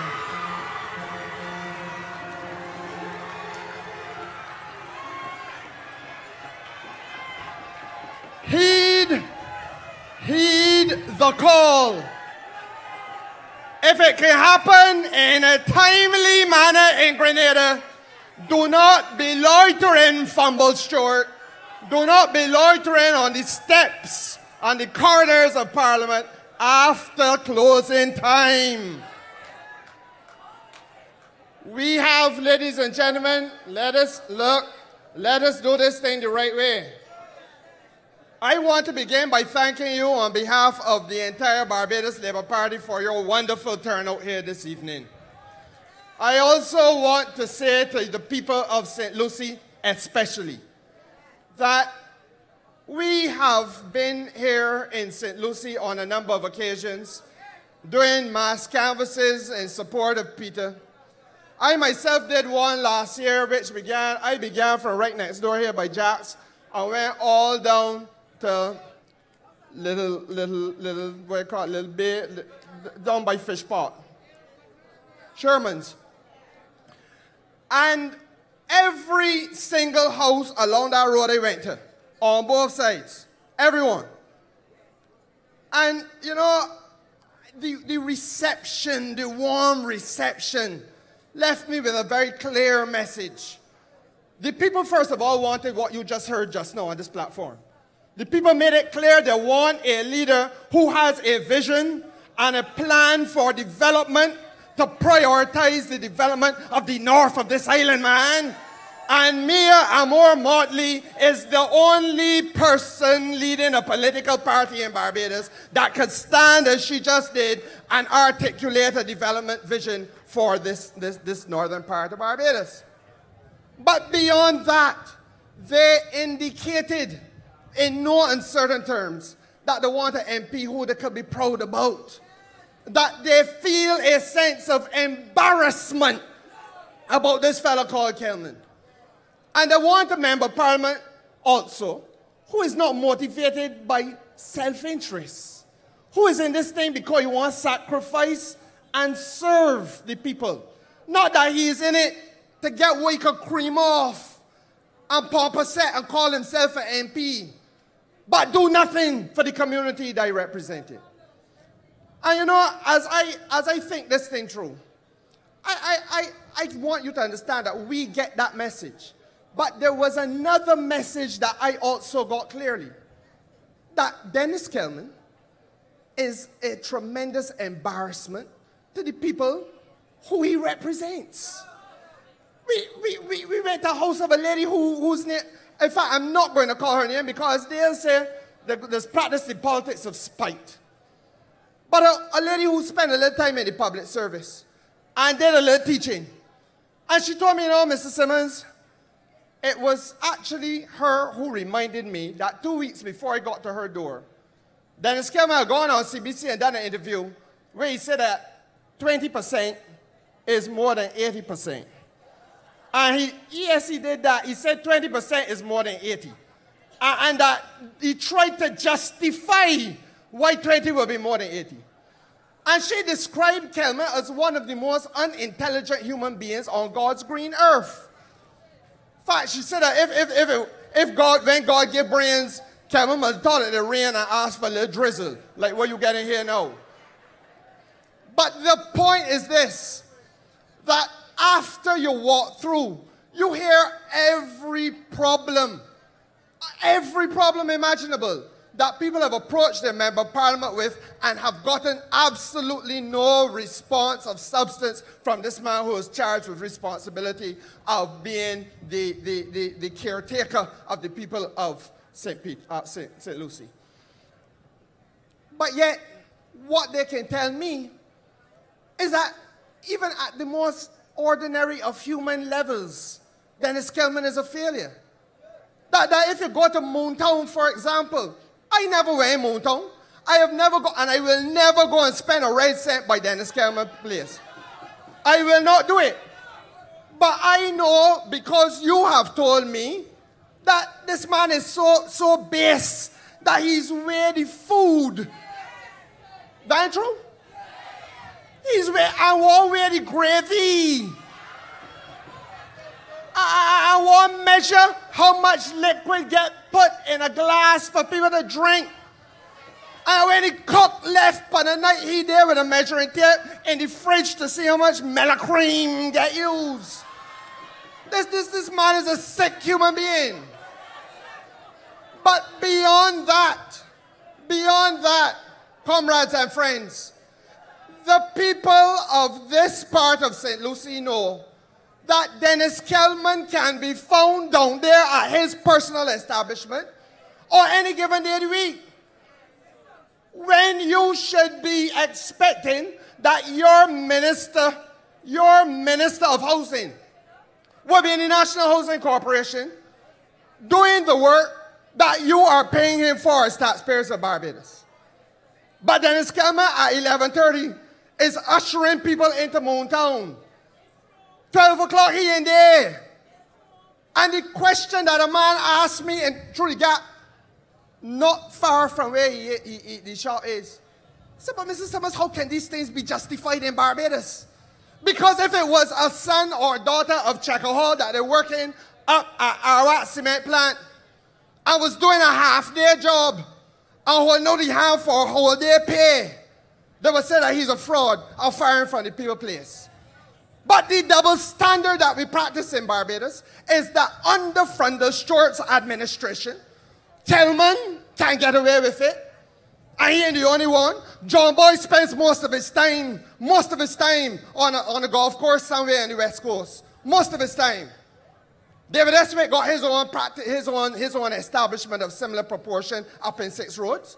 I here to advertise the business because shortly they will need the advertisement because they're going to be out there full time. But the point is, the principle is, these people are drawing ministerial pay for doing a part-time job at a time when this country is on bended knee and requires close scrutiny and attention. And every time, every time that you look at it, you see the fallout, the consequence of the neglect that Freundel Stuart allows. And that's why it's not personal. I said at the Labour Party um, conference, when a man, when a man can sit down and allow anything at all to happen in the cabinet that he leads, you, you, you have people on the street telling you that he is Lord upon Water. Uh, just now, Freundel Stuart was addressing a, a, a, uh, uh, uh, an assembly of Democrat Labour Party faithful. I had 15 people watching on Facebook. You know, you can see how many people watching. 15 people watching Prime Minister Barbados across this island. Nobody wants to hear the man. So I tell you, a rap box to him. Disgrace to the Prime Minister. And the point is to be made. The point has to be made that we have in Denis Kellman a man who is charged with a responsibility as Minister of Housing. Now, ladies and gentlemen, I want to say to you in no uncertain terms, I don't have to tell you, the people of the North, what the reality is when it comes to housing, because it was you, the rural people, the people of rural Barbados that know. In 1966, when we became independent, there were 360 people, 360 people in Barbados who owned 80% of the land in this country. You understand what I'm telling you? And that created a social demand, a pressure for ordinary Barbadians. Because you had one, you had a set of people, a class of this country, who have a thousand acres of land, 500 acres of land. And then they had your parents, and your grandparents, and your great grandparents, who would never have owned anything. I had no prospect for owning anything. And successive administrations up to this one have moved this country on a developmental journey, a transformative journey, akin and similar to that which Mia Mottley just started to describe to you, and which we will commit to executing on your behalf. And that journey was to empower people, ordinary masses of people in Barbados, especially in rural Barbados, so that you can get the knowledge. First of all, you want to make sure they got a good education. But these people come and kick down the education ladder. So university now is beyond the reach of the average ordinary man. We want to make sure that you get good jobs. We want to make sure that humble folk can have a certain knowledge that you get three good square meals every day. The poverty level in Barbados has now escalated to the point where one fifth of this country's population is described as living in a state of poverty. 20% of Barbadians are described as being in poverty under this government. And, and, and what, we, what, we, what we wanted to see is a government, you know, maybe in opposition with Beijing too. We want to see a government that would advance the process as every consecutive and successive administration has done since independence. But these fellas have come and rolled back the clock, pushed back the hands of time. And so tonight, as I speak to you, ladies and gentlemen, your Minister of Housing will not tell you, but I have a duty to come here and let you know that at the National Housing Corporation, which he presides over, tonight there's a list of people waiting for access to an opportunity to buy a piece of land going through the national housing because they don't have open market.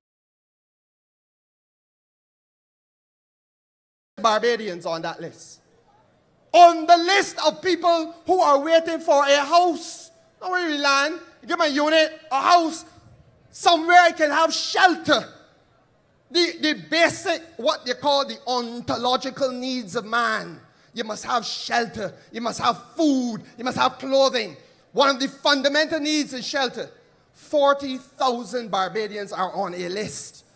And this damn disgrace, with 57,000 Barbadians waiting on him for assistance, can be found on any given day of the week, not minding the people's business, but doing, looking after his own personal pursuits under the watch of an equally complicit and incompetent prime minister who is incapable of reining him in. You understand the challenge that we have in this country? You understand the magnitude of the failure that we are confronting in this country? And you would have thought that given that level of demand, that this Pickering project that Mia just referred to would have been taken, brought him out here and prop him up on a garden fork size of turning soil and so on, making promising you a 250 civic center and, and, and entertainment center, promising you a new school and a daycare center and a bus terminal, if you please. Huh? All of that is what was supposed to be happening at Pickering. And that day that I canvassed down here, he's a complete failure. Because every time you elect, But I want to say to you, that day that I went down, went down the road there, I spent a little time in that, that market. And you know, I met a gentleman who told me that he bought into the Pickering thing. He believed it. He had a little money. I had a couple, he had a couple cars. He had two cars. He said this is an opportunity now because there could be enough tourists in the north, enough tourists in St. They got 250 rooms at hotel. He put aside a little change and went and borrowed money to buy two more cars. Because he now feel that he could get a rental business. Understandably buoyed and enthusiastic because every Barbadian has a basic common thread running through us. We, if we give us a chance, we can try and do a little thing thing to make ourselves better off, man. Every one of us.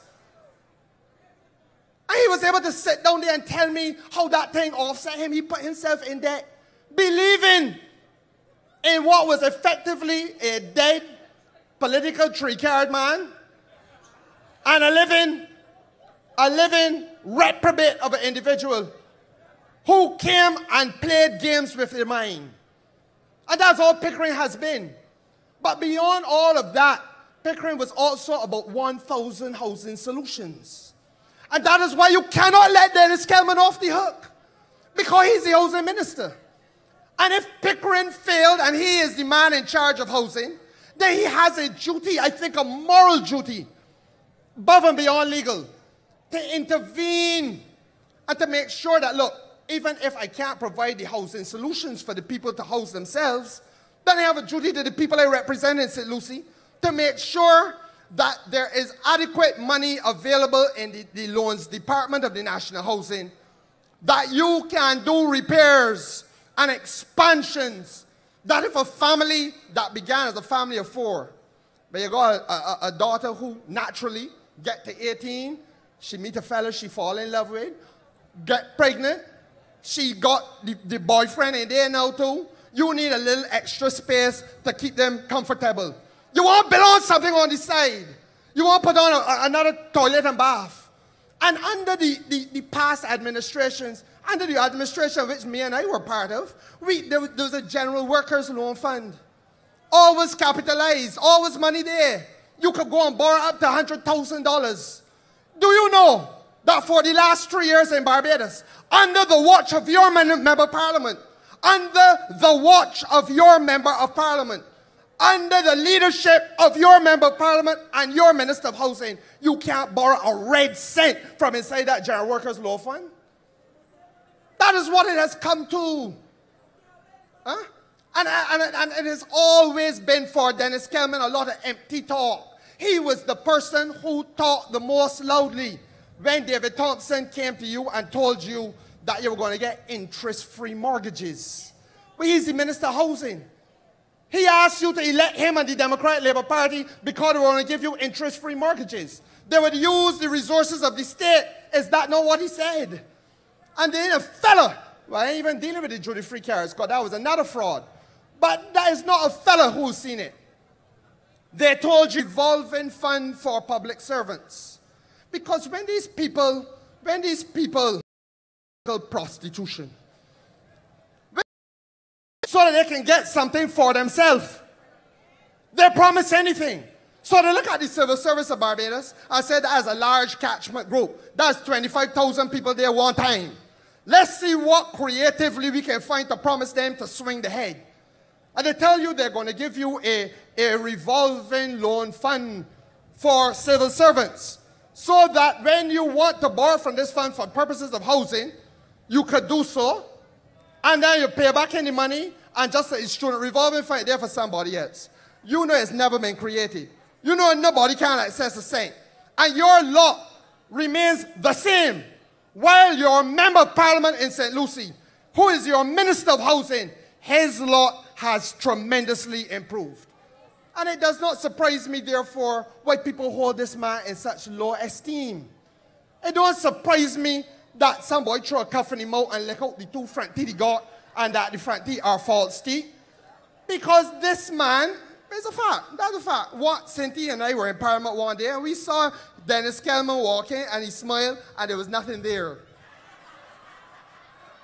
That, that is true. How you get it? Some boy throw a cuff in him out. Take them clean out. It wasn't a surgery nor nothing so. And, and, and the, the, the, the point is that that is the level. I'm not saying that it should beat the politician, but I'm saying to you that there's, that is the level of frustration that we are building up. But ladies and gentlemen, he's not only that. he is your minister responsible for rural development. And this Barbados Labour Party, let me serve notice now, under the leadership of Mia Mottley, has a transformative vision for rural development. And I am philosophically annexed to and akin to and joined to Mia Mottley on her belief that rural development must include encouraging young people to cut the umbilical cord from dependency of any politician. There's one politician who will stand here and tell you that it is a wrong and vulgar thing for generation after generation of people in Barbados to believe you got to depend on a politician for your own survival. We are here to serve you, Democratic Labour Party. And I say to you, therefore, that Denis Kellman owes this country an apology. You know, the man has done nothing to advance small business. Development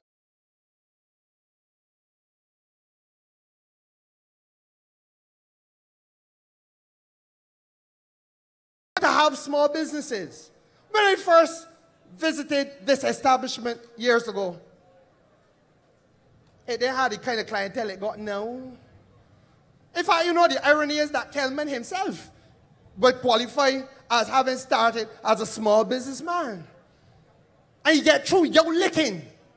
But now he has got to the top of the rung of the ladder. He kick it down. So that his Ministry of Rural Development is doing nothing to advance the cause of small business. Small business. In fact, it is, it is business. Do you know that small business in Barbados is entitled to get financial assistance if you are an client under the Small Business Development Act? You could be doing nails. You, you, you could be a mason, a plumber. You could be a freighting business, whatever it is, a hairdresser. You could get a little assistance. But you got to make sure that you qualify under the provisions of the Act. Me and I sat down and went through this thing with some of the people in the sector. You know that everybody is satisfied now that the average time it takes for a small business to be approved in Barbados to get little financial assistance is 52 weeks. 52 weeks a whole year. And that's not, that's not sport making. I'm serious, darling. So that it, you understand the damage that you do psychologically to somebody who is a, a young entrepreneur who say, I'm going out there and I'm going to take risk. I'm going on my own into the wild blue yonder and I'm going to stand for something I believe in and I'm going to do my best to pull myself up by my bootstraps. But the government, the government, which leads you, impedes your progress and says to you, you can get little assistance. But the reality is you go away a year. And in practical terms, that is what is confronting every small business person in Barbados. The Small Business Association is there as an, a, an um, um, umbrella body to make sure that all will be able to have some representation. So the government may have a requirement that you do something as a small business. You may have to pay a licensing fees or something. And you may have a challenge with that. And just like how we do with the Bar Association, lawyers, the Bar Association will write to the government and deal with that. I ain't, I ain't to write and Dale write and Mia write and Santia write and whoever else. So that is how these SBA, the Small Business Association, would work. That makes sense. But with this government, they have now decided to deprive the Small Business Association of money. Every year they get a subvention. And again, I tell you that under the watch of your member parliament, who you must remove from office, in 2017, last year, the amount of money that was made available to the subvention, to, by subvention, I see the light, by subvention to small business in Barbados was less than the money that was made available in 1995. They have taken us back that far. You now get less help offered to small business by this government than you got in 1995 when the money was $350,000 for a year And last year they gave 250,000. And ladies and gentlemen, I say to you that you can want no clearer evidence that these reprobate and disgraceful individuals are hell bent on fattening their pockets, making their personal circumstances increasingly splendid, increasing their appetite for more grandeur and opulence, while cutting your throat and leaving you to suck salt in this country. How does a prime minister bring out one and a half million dollars of new vehicles last year? One and a half million dollars worth of new vehicles. Two brand new Mercedes Benzes, MP2 and M50 in one year. But the small business people of Barbados who represent that which they love to go on a platform and call poor that was given as far back as Brad Peter Phillips. You in St. Lucy have a baton. You have a policeman truncheon. Beat Denis Kellman brutally with that truncheon.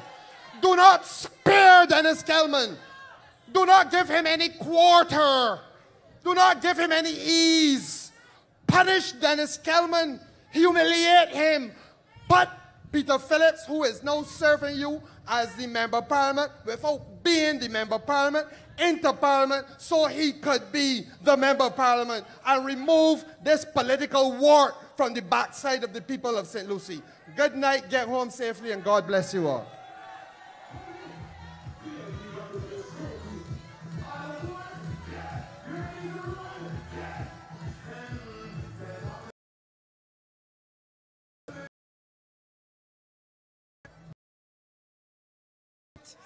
We are so pleased to have had the opportunity to explain to you what we want to do for your future.